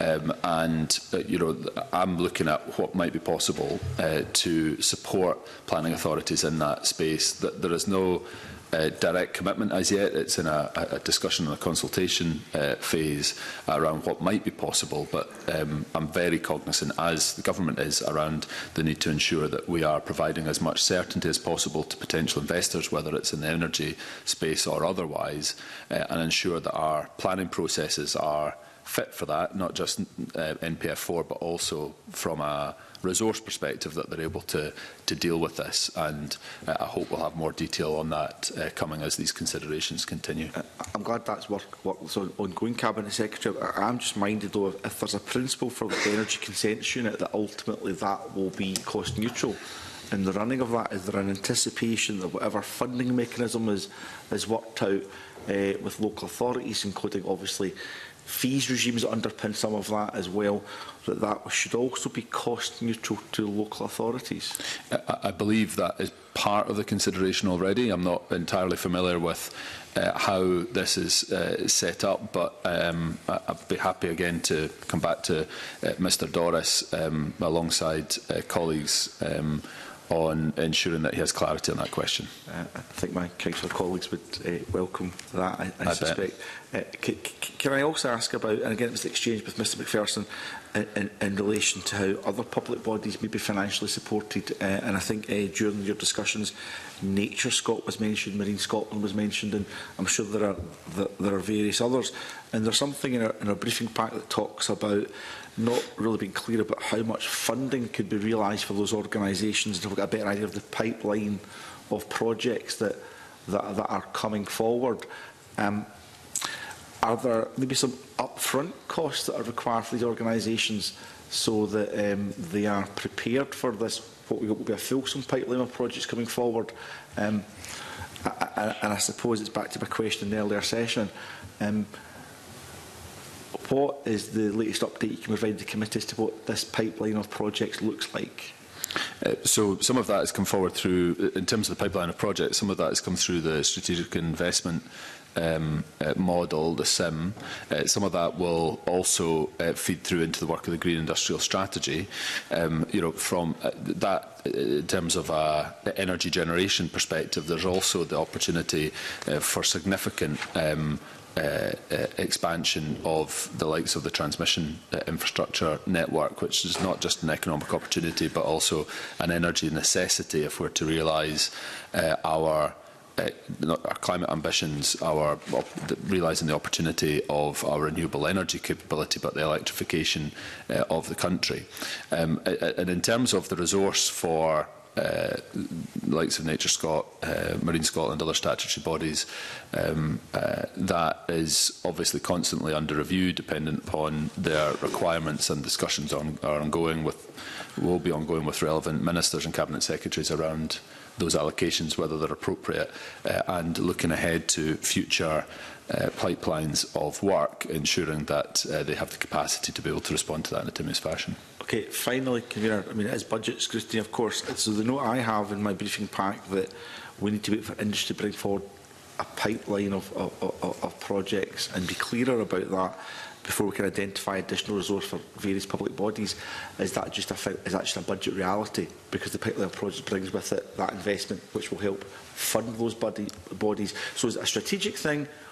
or is it just a budget reality? It, it, it's going to be both. Um, both are going to be under consideration. You know, the, const, the, the, the current resource requirements for those bodies, as well as looking at the future. Uh, some of that is going to be getting clarity from industry around some of the projects that are going to be coming through. I, I referenced the uh, transmission infrastructure uh, as an example, but there will be others uh, around the energy supply chain, around energy uh, development itself, uh, where uh, we would obviously be keen to get a, a, as clear as possible a timeline uh, from industry about when they expect to be able to come forward with this. But some of that is also going to be dependent on factors out with their control and out with our control, one of which uh, being, as I said earlier, one of the greatest bar potential barriers to uh, our renewable energy capability, which is uh, access to the grid, uh, both for energy development but also uh, offtake from the grid for Uh, particularly energy intensive in, uh, supply chain uh, developments as an example those are, are key considerations and I know UK ministers uh, and regulatory bodies are cognizant of this um, and uh, understand the need to accelerate uh, investment in the grid to ensure that we're able to respond to uh, the opportunity that we have before us. Okay, thank you. Thanks, Bob. Uh, Mark, I think you've got some questions, and then Monica. yeah, it was just a, a follow-up about that pipeline in relation to onshore wind projects. Um, because I, I remember reading in, in the draft energy strategy last year that you know, it, it appeared to be quite clear how we're going to meet that 2030 target for doubling onshore wind. About half of what we needed, slightly more than half of what we needed, um, was already um, you know, in the planning system, and slightly less than half of what we needed had already been consented. So I'm, I'm just trying to understand what, what that big bulk of work is for planners that, that, that we don't understand at this point, because if that, if that holds true, then pretty much everything that we've got already in the system um, you know, is, is, is going to meet the target. But I, I, I don't know to what extent the onshore wind uh, you know, pipeline has developed in the last 12 months since the onshore wind sector deal, and actually whether we're seeing far more applications coming forward or whether you know there, there's been a reduction. So mm. yeah, it seemed that there was certainty in the draft energy strategy about what was coming down the pipeline. I'm just interested in your perspective or Susie's perspective as to whether that, that has changed in the last 18 months. Because clearly the onshore wind sector deal has been fantastic for the industry. Mm. It's been a, a, a major thing this government has put uh, forward. I, I expect uh, Mr Ruskell's uh, correct um, and I would need to go away and check to see what the update is uh, with regards to uh, the proportion of our 2030 target that's either in train, that's in the planning process or in delivery um, uh, you know, from where the draft was to where we are now. And I'm happy to look at at uh, um, whether there is an updated figure on the proportions. Um, and his assessment on the importance of the onshore wind sector deal, uh, I think, is also uh, correct. Um, industry has welcomed it. Um, I think it's also it's not just important for industry uh, and the development of onshore wind. It's also critically important for communities, so that we actually see demonstrable benefit uh, and uh, for people to have uh, voice uh, on these projects because the onshore wind sector deal, in spite of the fact that we do not have the power to enforce this upon uh, developers, uh, commits uh, the industry to consult with communities where there's going to be a, a, an application at a much earlier stage. Uh, it means you know there can be potential mitigations or changes to the way that the layout of the application comes forward so that it answers the community need. Uh, but also critically, uh, commits the industry to the Scottish standard on community benefit, which is uh, £5,000 per megawatt uh, generated. Um, uh, which again we cannot mandate but they are committed to and uh, is an important uh, leading principle that we have um, and we're looking to work with industry uh, through SOEC uh, and uh, the various bodies to ensure that that community benefit is also strategically deployed. Uh, so we're seeing the maximum economic regeneration and, and economic development uh, coming from that finance uh, so that communities who have energy and infrastructure uh, on their doorstep can see demon demonstrable impact for having had that uh, there and you know declare an interest in that front I've got a substantial um, wind energy um, uh, projects in, in and surrounding the community that I represent in Airdrie and and can already see uh, some of the the flow of money coming through from that and the community having a real agency over how that is deployed, which is incredibly welcome and what we need. Mm -hmm. Sorry, Susie, did you want to add? Thank you. The only thing that I would add to that is, as well as the community benefit is obviously a hugely important part of the just transition, as previously oil and gas supply chain companies are now moving into being much wider energy supply chain companies and they need that flow of projects in order to make that transition. Mm. So it's important in economic terms as well. Yep. Thanks, Mark. I, I think if there's more information about how that pipeline is shaping up, then, then that's that's well, very useful. I, I, think the point is anything that can be shared with the committee in advance is, is, is always helpful. Our, as a result of this session, obviously, through the clerks. Monica, you've got some questions as well. Yeah, thanks, convener. Um, yeah, it was just to kind of go back to Ben McPherson's important question about um, resource for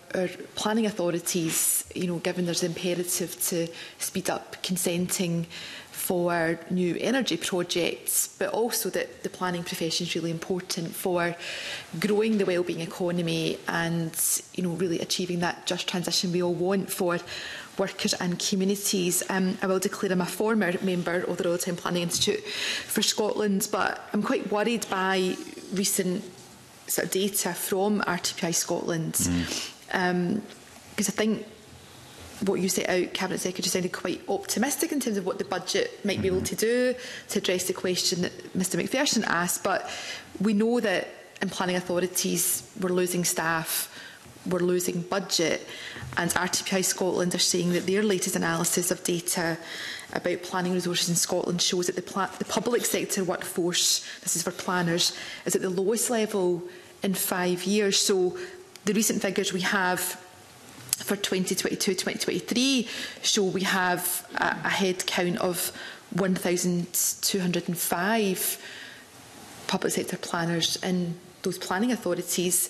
In terms of the budget that you're proposing now, will that figure increase and if so by how much as first of all um, uh, recognize the uh, interest and the role that Ms Lennon's played in, in this front um, and her understanding of the situation. Uh, what uh, I'm keen to do is uh, to see uh, and to express upon those people who are making career choices the importance upon the planning system in us realising our economic goals. And there are going to be huge uh, uh, projects and opportunities coming forward where planners are going to play a central role in ensuring our economic opportunities are realised. And as she uh, rightly points out, uh, the wellbeing economy can be progressed. So my encouragement to people considering uh, what, uh, uh what career path to choose uh, would be to look at, at planning uh, as being an area where you can make a real difference uh, in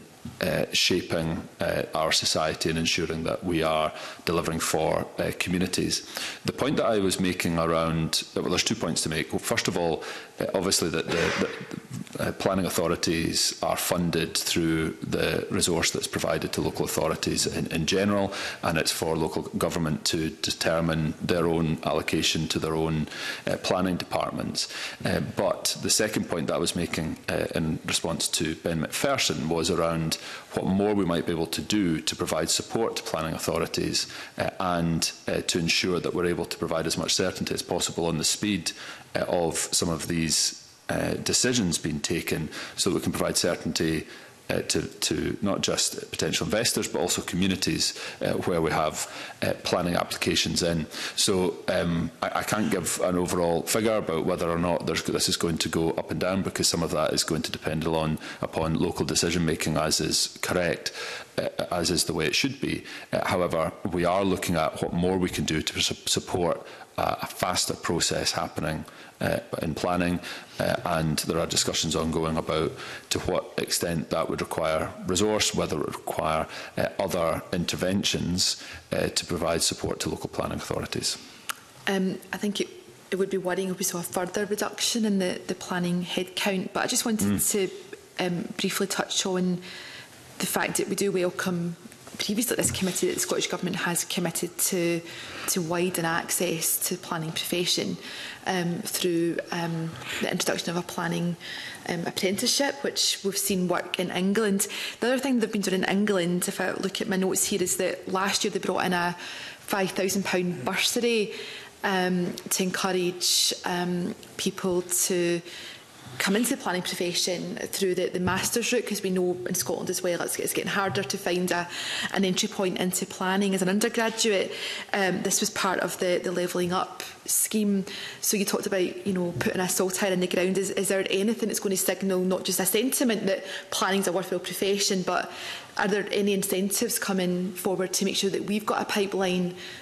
of planners to do this work that, that mm. you're so committed to? Uh, uh, first of all, to acknowledge the initial point that uh, Monica Lennon made around you know, any reduction, in further reduction mm. in, in the, the planning headcount would be uh, worrying, it would be uh, very difficult and challenging for us yeah. to be able to realise uh, what we are, are wanting to from an economic uh, perspective in terms of uh, getting through the applications that we need to if we saw further reduction. So that's why we're looking at what might be possible and the suggestions that Ms Lennon has suggested um, will uh, be part of the considerations that we're taking forward to see if there is anything more that we can do uh, either beyond the appeal that I made in, in, uh, uh, in response to her first question about the central importance that planners play and, and really giving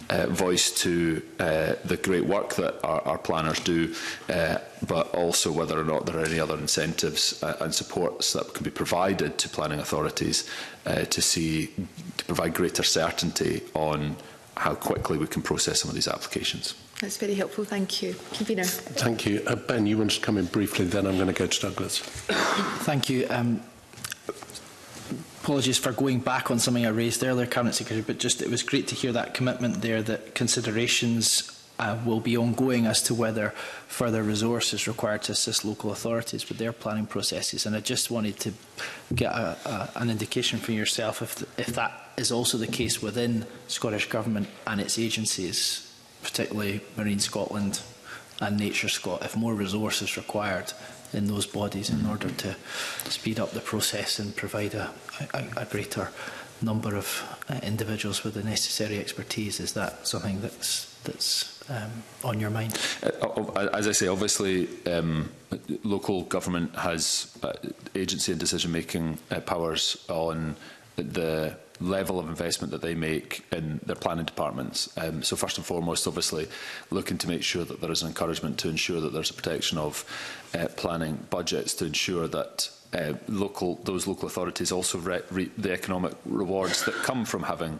uh, a a, a good planning system uh, and uh, taking advantage of the investment opportunities that come through there.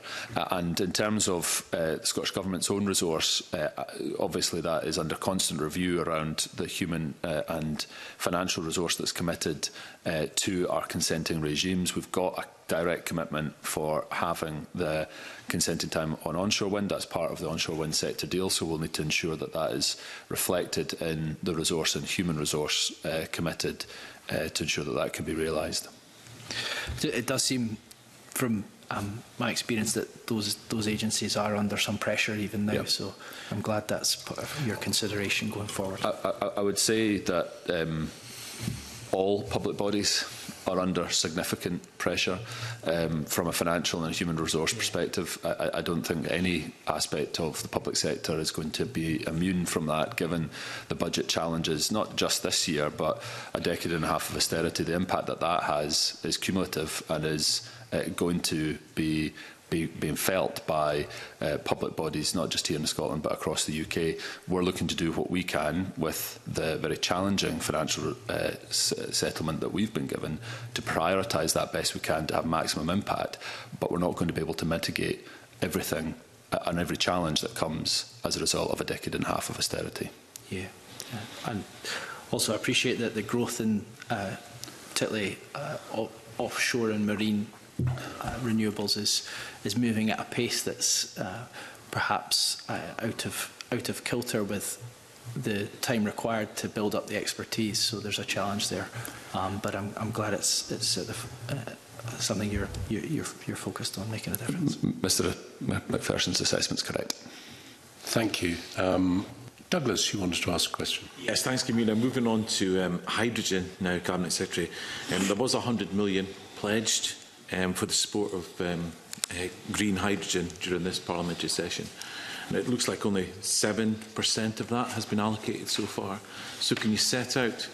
how the rest of that money is going to be allocated?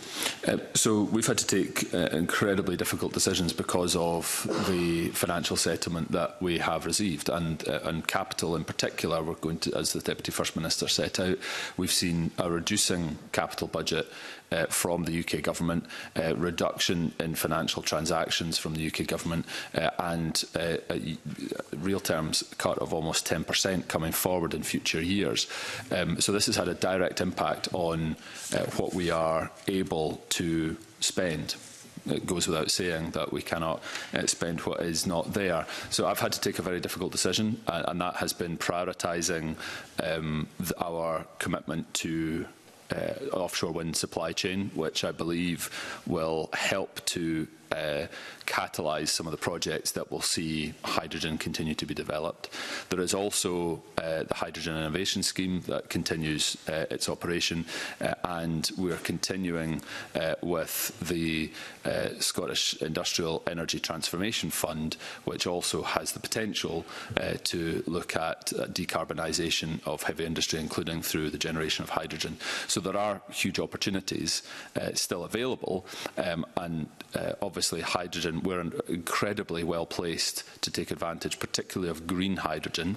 Uh, and there is a huge market for that. Uh, we know there is significant interest, particularly from Germany, uh, for a fixed link. Um, and uh, hydrogen is absolutely going to play a critical role. And I want to see its development happen as quickly as possible. But uh, where we are faced with uh, uh falling budgets, uh, having to take difficult decisions, I've had to prioritise the offshore wind supply chain. So, so you're saying, Cabinet Secretary, from that 93 million that was still due to be spent during this parliamentary session, that's not now going to be spent. Is that Is that what uh, no, I haven't said that. There's still an opportunity going forward in this parliamentary session for uh, hydrogen uh, investment to come through and the, and the hydrogen fund uh, to be there. But what I'm saying is for this particular budget, I haven't been able to prioritise uh, money against uh, that budget line. Um, and that is because I've chosen to prioritise ensuring that we kickstart the uh, offshore wind supply chain uh, commitment, the £500 million commitment from uh, the First Minister, uh, partly because I believe that some of that will help to catalyse hydrogen projects, uh, but also because there are other routes by which uh, we can see continued hydrogen innovation happen, the Hydrogen Innovation Scheme uh, and uh, the Scottish Industrial Energy Transformation Fund being two examples. So in, in late 22, um, reading the, the Scottish Government website, it said the next tranche of hydrogen investment would be early 23. I'm not sure if that happened or not. And then September, um, in a, a response to a, a question, you said the next tranche of hydrogen investment programme, up to the 90 million, will, will launch later in 23. So I presume that didn't happen as well, Cabinet Secretary. And from what you're saying just now, you've had to, because you've had a difficult budget, which I obviously understand, you've had to reprioritise. So will that, does that mean that there won't be a next tranche in the upcoming budget term? That's correct. Okay. Thank you. Thanks, Cabinet Secretary. I've got a few questions, actually, uh, as a result. And I should actually say that last week I had a very interesting visit uh, to Hydrogen Works at Heriot Watt University, uh, which I did on behalf of the committee. Um, and some of the things that you've said this morning echoes exactly what they said, that private investment is needed, and it appears that private investment is there. And some of the problems with uh, hydrogen going forward in the future is grid connection.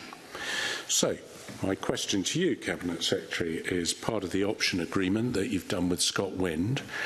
How much of that energy, that uh, that electricity that is generated uh, offshore as part of ScotWind, have you stipulated uh, should go into electrolysers, not into the national grid, to allow hydrogen to be developed in Scotland. Uh, so there are, that is definitely an option and something that we are exploring as being an option for uh, the Scotland developments. Um, there is complexity there, as uh, I assume you're aware, uh, convener that at the moment the technology is nascent in terms of offshore electrolysis, so you'd still be transferring uh, the electricity onshore at the minute in order to see that el electrolyzer uh, capability happen.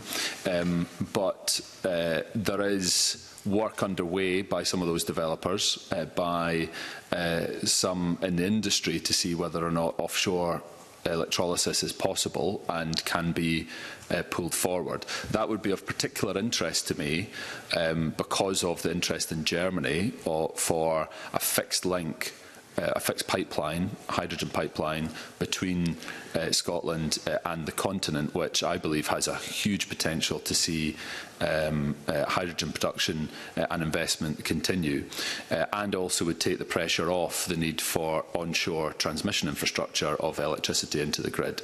Um, so there is a win-win situation there. Um, but your assessment uh, is correct that we're going to need significant private investment. That's part of the reason what, what we're trying to do with uh, our finances uh, and the finances that are available to us is to try to catalyse some of that um, so that we can de-risk some of those investments using the private, the public finance as best as possible.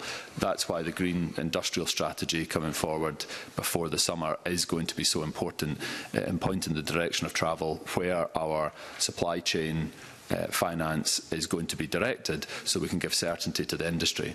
Um, and I don't want to prejudge that in terms of where the work on the green industrial strategy is going to come out.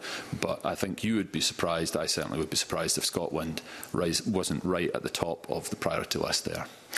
and uh, I, I'm interested there's an option to put it in the option agreement, but that option hasn't yet been exercised, and the option agreement is for a project that is significantly far away at the moment to allow the energy to catch up or the electrolysation of, of, of the power uh, to hydrogen offshore. So I, I think it was very much a clear message that we got, or I got, on behalf of the committee that the Scottish Government can kickstart private investment by making sure that there's the incentive to do it by ensuring that a percentage of the power goes to hydrogen and, and, and not purely to the national grid.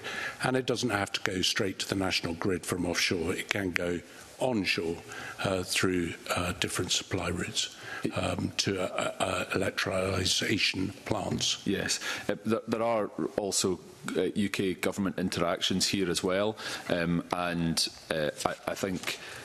I'm very keen to see um, more work done on the transportation, storage, etc., the regulation that's required for uh, hydrogen to come forward, uh, again, so we can provide certainty to the industry around what the expectation is going to be, but also uh, to see if the UK government are as committed as we are to seeing that uh, fixed link because that is what's going to make the difference. Uh, if they know that there is, if the investors, the developers know that there is that market um, and a route to market, that makes a substantial difference in terms of their investment decisions. Uh, and so a fixed link, I think, is going to be a, a transformational element there. There's going to be differences of opinion on this as to what uh, hydrogen, particularly green hydrogen, is going to be used best for. Uh, I think the opportunity that we have before us in terms of industrial decarbonisation, in terms of the decarbonisation decarbonisation of transport, uh, the potential for the decarbonisation of energy, um, as well as the export potential, makes green hydrogen a, a, big opportunity come forward, largely going to be dependent on, on how we get on with the development of Scotland as well. And I would just make the observation, don't worry too much about the fix over Germany. I think the Highlands would say they'd prefer pipes over pylons. Um, so maybe there's scope there. I, I, and, and, and listen, I think that is a very fair point and, and one that I'm very cognizant of. Um, the, the issue is how we use it and where it can be deployed and what is possible from it um, and don't underestimate the opportunity that comes from uh, an export of some of that hydrogen because it also catalyses the wider hydrogen industry that allows some of the other offtake to happen. Okay, um, I'm not going to come back with a comment on that, but Mark Ruskell is. Um... Yeah, interesting um, discussion there, and, and I suppose the, the question that follows on from that is kind of where, where you see green hydrogen right now within the context of, of this year's budget. I mean, is it are the, are the market opportunities there, you know, near market, or are we still looking at real? farm market opportunities. And I suppose, you know, looking at the hydrogen innovation scheme and just what, what's been funded already, um, you know, there's some really, really useful, interesting feasibility studies there um, for quite small scale application of green hydrogen. But it feels to me a lot of that stuff is is kind of about demonstrating it, mm. demonstrating its value, and it, it doesn't feel like you know the full the full commercial opportunities are here, right here, right now. Mm. So maybe that, that goes back to your comment about offshore wind and strategically what what is that that focus, mm. uh, and, and, uh, and what is that focus then for green hydrogen, perhaps in a longer term. I, I think Mr Roskell's right um, that the investments that we've made so far are around, yes, demonstrators, but also testers as to the viability of some of these potential uses. So uh, you know, I'm thinking of uh, the work that's been done in Orkney by EMEC to demonstrate uh, green hydrogen being able to uh, power the harbour infrastructure for uh, the, the, the ferries there while they're, they're dockside, or indeed the investments that have been made in Fife around the demonstrator for the potential for hi green hydrogen to be used uh, for an alternative uh, energy heat um, uh, supply. Uh, um, the, the potential that we have for green hydrogen um, is massive. Um, I think particularly for industrial decarbonisation, uh, but also uh, potentially for export and for transport decarbonisation. There is a, a difference of opinion um, pretty widely uh, across uh, industry as to whether or not green hydrogen uh, or hydrogen in general is going to be best used and deployed for Uh, uh, alternative household energy consumption. Um, but I think it's important that we continue to invest in those demonstrators to demonstrate whether that's viable, work with uh, some of the organisations that have an interest here, such as um, the gas grid uh, and its regulators, and see you know, what is best uh, deployed or what green hydrogen is going to be best dep deployed for. Uh, and some of that work, uh, some of that thinking is going to come through in uh, the green industrial strategy, uh, but also uh, the energy, the completed energy strategy and just transition plan um, will also, uh, I believe, feature some of this work as well. But for this year's budget, the focus is offshore wind, building up the capacity of mm. the hmm. supply chain, and that's where the jobs are going to come from. Yes, uh, uh, yes, um, from a hydrogen space, but al uh, although uh, I go back to the fact that the Hydrogen uh, Innovation Fund and the the Scottish uh, Industrial Energy Transformation Fund is also uh, going to be continuing. So there are still routes by which we're going to be investing in, in hydrogen projects.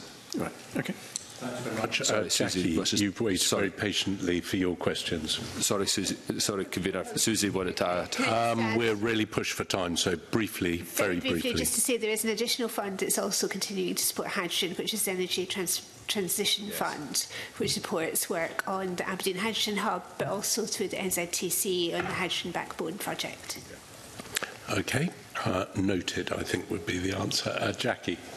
Thank you, Convener. And I'm nothing but patient.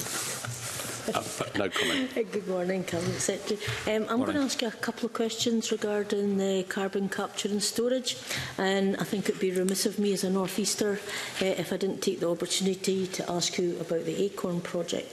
Are you able to give the committee an update on the latest development on where we are mm. with the ACORN project? And I'd like and I'd quite be, I'd be interested to hear your views on what the impact has been um, with the project um, in regards to the delay from the, the UK government in approving the project in the first instance, if any. Uh, I, I think uh, Jackie DeBarn Barn recognise her considerable interest uh, in this area, as there will be uh, across this committee and, and wider across Parliament. Uh, I had a really productive uh, meeting with the Scottish Cluster at the end uh, of last year, um, and their uh, planning and uh, working uh, continues on the development of, of CCUS. Um, I think the encouragement, not just from the cluster but from government, is for the UK government uh, to move forward at a greater pace uh, so that we can realise the opportunity from a net zero, but also an economic perspective. Mm -hmm. You know, the, uh, our assessment uh, is that our Uh, uh, our GDP could increase by 1.3 to 2.3%, which is a substantial amount uh, through the utilisation of CCUS. Um, but for the UK government to come forward in a much faster way on confirming Track 2 status uh, and the industrial emitters included, etc., etc., uh, because that allows us to ensure that we have those strategic discussions uh, with the uh, cluster around where we can provide support. Um, I've spoken previously about the commitment that we have there, uh, but also so that we can ensure that we are reaching our net zero ambitions for uh, for 2045, because carbon capture is going to play an incredibly important role uh, in that. Uh, and if we miss the opportunity uh, of which you know there's going to be great competition around the world for some of this uh, capital, um, then it will be to our detriment, not just from a net zero perspective, but from an economic perspective as well. Okay, thank you. In, in regards to the support, um, I think 80 million has been pledged by the Scottish Government um, for CCS support in Scotland. Can you maybe outline some of the conditions that are needed to be met before that pledge is, is, is released or has it started being used? Yeah, uh, uh, uh Mr Barr's correct. Um, you know, we, we have that long-standing commitment to continue to, to, to support uh, carbon capture. It is triggered by the decisions that are taken at a UK government level, uh, as I'd set out previously around uh, the furtherance of the Track 2, but also uh, particularly on the industrial emitters that are going to be included. Uh, and uh, that's why we continue to engage with the UK government on making progress there and encourage them uh, to move so uh, to do so in a timorous fashion, so that um, our commitment can be realized but also so that we can realize our uh, obligations to meet our net zero targets, not just ourselves, but, but the UK net zero targets as well, because uh, the, the Scottish cluster is going to play a you know, very important role for the UK to meet its mm-hmm. net zero ambitions as well, not just the central uh, uh,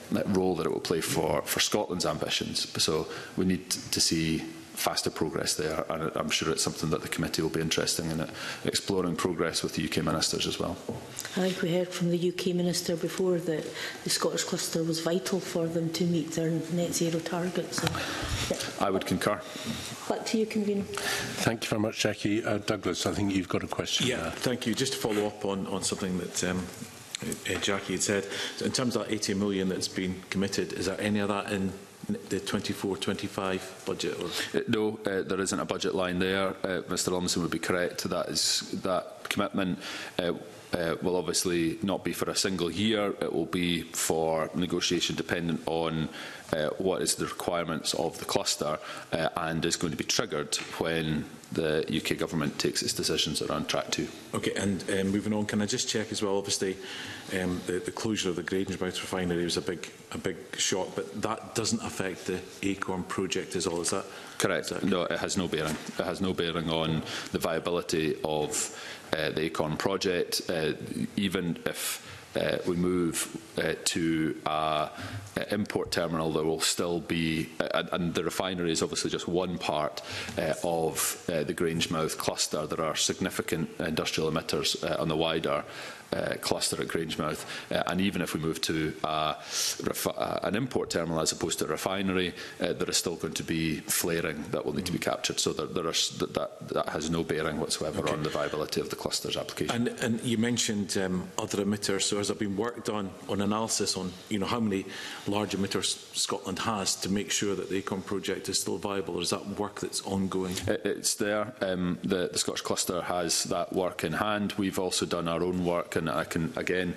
uh, pass uh, on further information around um, the uh, the industrial emitters that we're aware of, the work that needs to be done in order to see that decarbonisation happening. Um, I'm happy to provide that further information to the committee. Mm, okay, uh, thank you, Cabinet Secretary. And in terms of obviously ACORN is going to be um, important to, to the North East, but so is the, the Just Transition funding. I noticed that that next year is going from 50 million down to, to 12 million.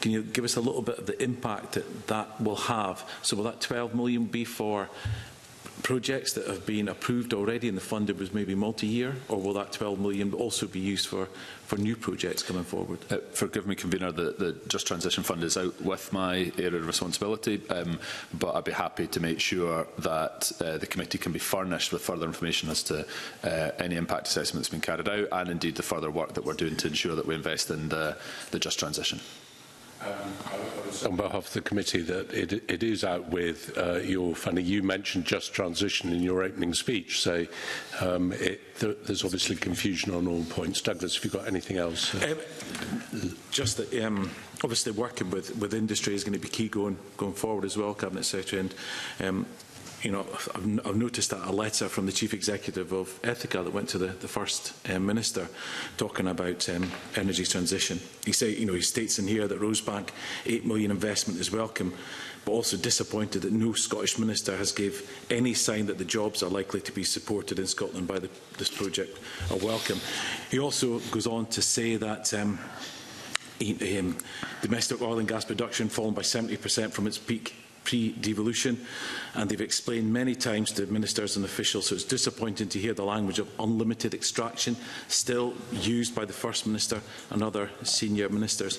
And he also says, without support for oil and gas, our human capital and supply chain will be lost to the booming energy sector, opportunity overseas, thereby slowing down the energy transition. Do you accept that that, that, that comments that basically the, the narrative that the Scottish Government is using towards oil and gas will in fact slow down our energy transition.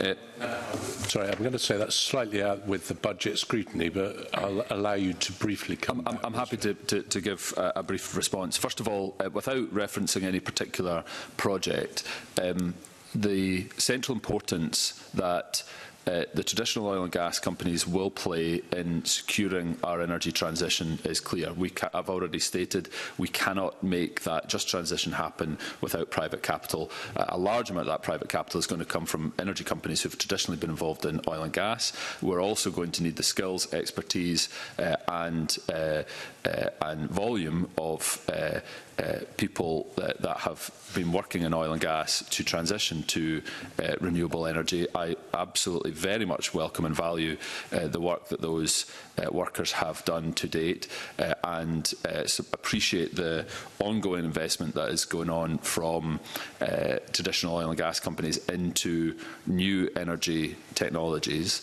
um, and would encourage them, as uh, the First Minister and I did at an Offshore Energies UK roundtable last Monday, uh, to move faster and to show where they are making those investments so we can see that it's demonstrated. Uh, there are various uh, projects projects that are ongoing from traditional energy companies uh, in oil and gas, in renewable energy, that demonstrate the just transition happening and the movement of uh, uh workers from the oil and gas industry into renewables um, that demonstrate that the just transition is, uh, is happening. My keenness is to see that happening quicker, for it to happen as quickly as possible. Uh, and we'll work with anybody that will help us realise that goal. And I think we've taken that, Mr Lumsden, as far as I'm going to allow you to take it in, in this session. And just looking around, I've got a couple of questions, but if there's nothing else, I'll go straight into those. Uh, Mr Gray, 801 and 802, how much have you put aside for paying for them next year? Um, there's a specific line in the budget. Uh, I can't remember the exact... Um, 42.5 million. 42.5 million has been set aside for uh, this financial year. And Is that all that's going to come out? you confident that the uh, meeting, I think, taking place at the end of this week isn't going to ask for more money? Uh, I, I certainly hope not. And the uh, visit that I had to the uh, yard uh, and the meetings that I've had both with the chair and the chief executive, uh, and indeed with um, the shop stewards uh, and the, the senior staff, um, uh, has emphasised that there is a need for us to deliver these uh, vessels as quickly as possible. I, I don't want want to see any further delay, but also the importance upon ensuring that there is financial probity and ensuring that we are bearing down on, uh, on costs. And I don't want to see uh, a further cost over. And Obviously, I cannot guarantee that. Uh, it depends what comes through uh, at the meeting uh, at the end of this week. Um, but I've stressed upon uh, the, the board, uh, the chief executive, the financial situation that the government is in, that we've all uh, heard and been poring over uh, today, um, that uh, you know the, the availability of further resource uh, is limited, um, and they need to be. Um, uh, uh, e, ensuring that they're bearing down on costs and uh, we've pushed as hard as I can and the First Minister has uh, on not coming forward with any further cost overruns. So, so just on that basis, it's 42.5 million. What's government paid for 801 and 802? What's the total cost? Uh, so the, uh, I'd be happy to provide the, the, the full figure once the, um, the, the, the meeting has been had at the end of this year. Obviously, the figure that we're giving for this year, the 42.5 million, is recognising the fact that 801 is at an advanced stage, and so is a reduction uh, from what we invested uh, last year. Um, and the updated cost to complete uh, figure, I think, is 130 million for 801 and 110 million for 802. It would be very helpful for the committee to understand those figures and have them post the meeting, including all the costs that were pumped into the yard to keep it open. And on that basis, how much are you giving to the yard next year, to, or this budget year, to allow it to compete for further contracts, or are they just getting the 42.5 million and, and then you're cutting them loose? No, that's a separate discussion uh, that's underway. Uh, there was a, an application uh, for capital investment to see the yard uh, updated and to be able to allow it to be more competitive. We want to see greater productivity at the yard to allow it to uh, compete uh, on its own merit um, for further work. There are various strands of uh, uh, work ongoing going to try to secure further work. Um, and there are specific conversations happening to update the business plan and financial model uh, around potential further capital investments to be made to ensure that they comply with subsidy control. Um, and uh, those discussions are ongoing, and we're working directly uh, with them on ensuring that they, are, they can be compliant. So I think they asked for 25 million, and the business case wasn't justified, so you didn't give it to them. I think that was my understanding. It, it, didn't, it, didn't, it, it was around that figure and it didn't um, uh, comply uh, with what we'd expect from a commercial market operator test, okay. uh, which is why it fell at that first legal hurdle that we have to have a consideration on for so subsidy control. Is there any money in the budget for, for, for the yard? As I or, said, or is it just something you're going to draw down from Scotland? No, that's going to be a discussion to be had based upon Uh, the finalised plan um, that comes forward from the yard, and then we'll have a consideration over whether we can finance it uh, and where that finance would come from.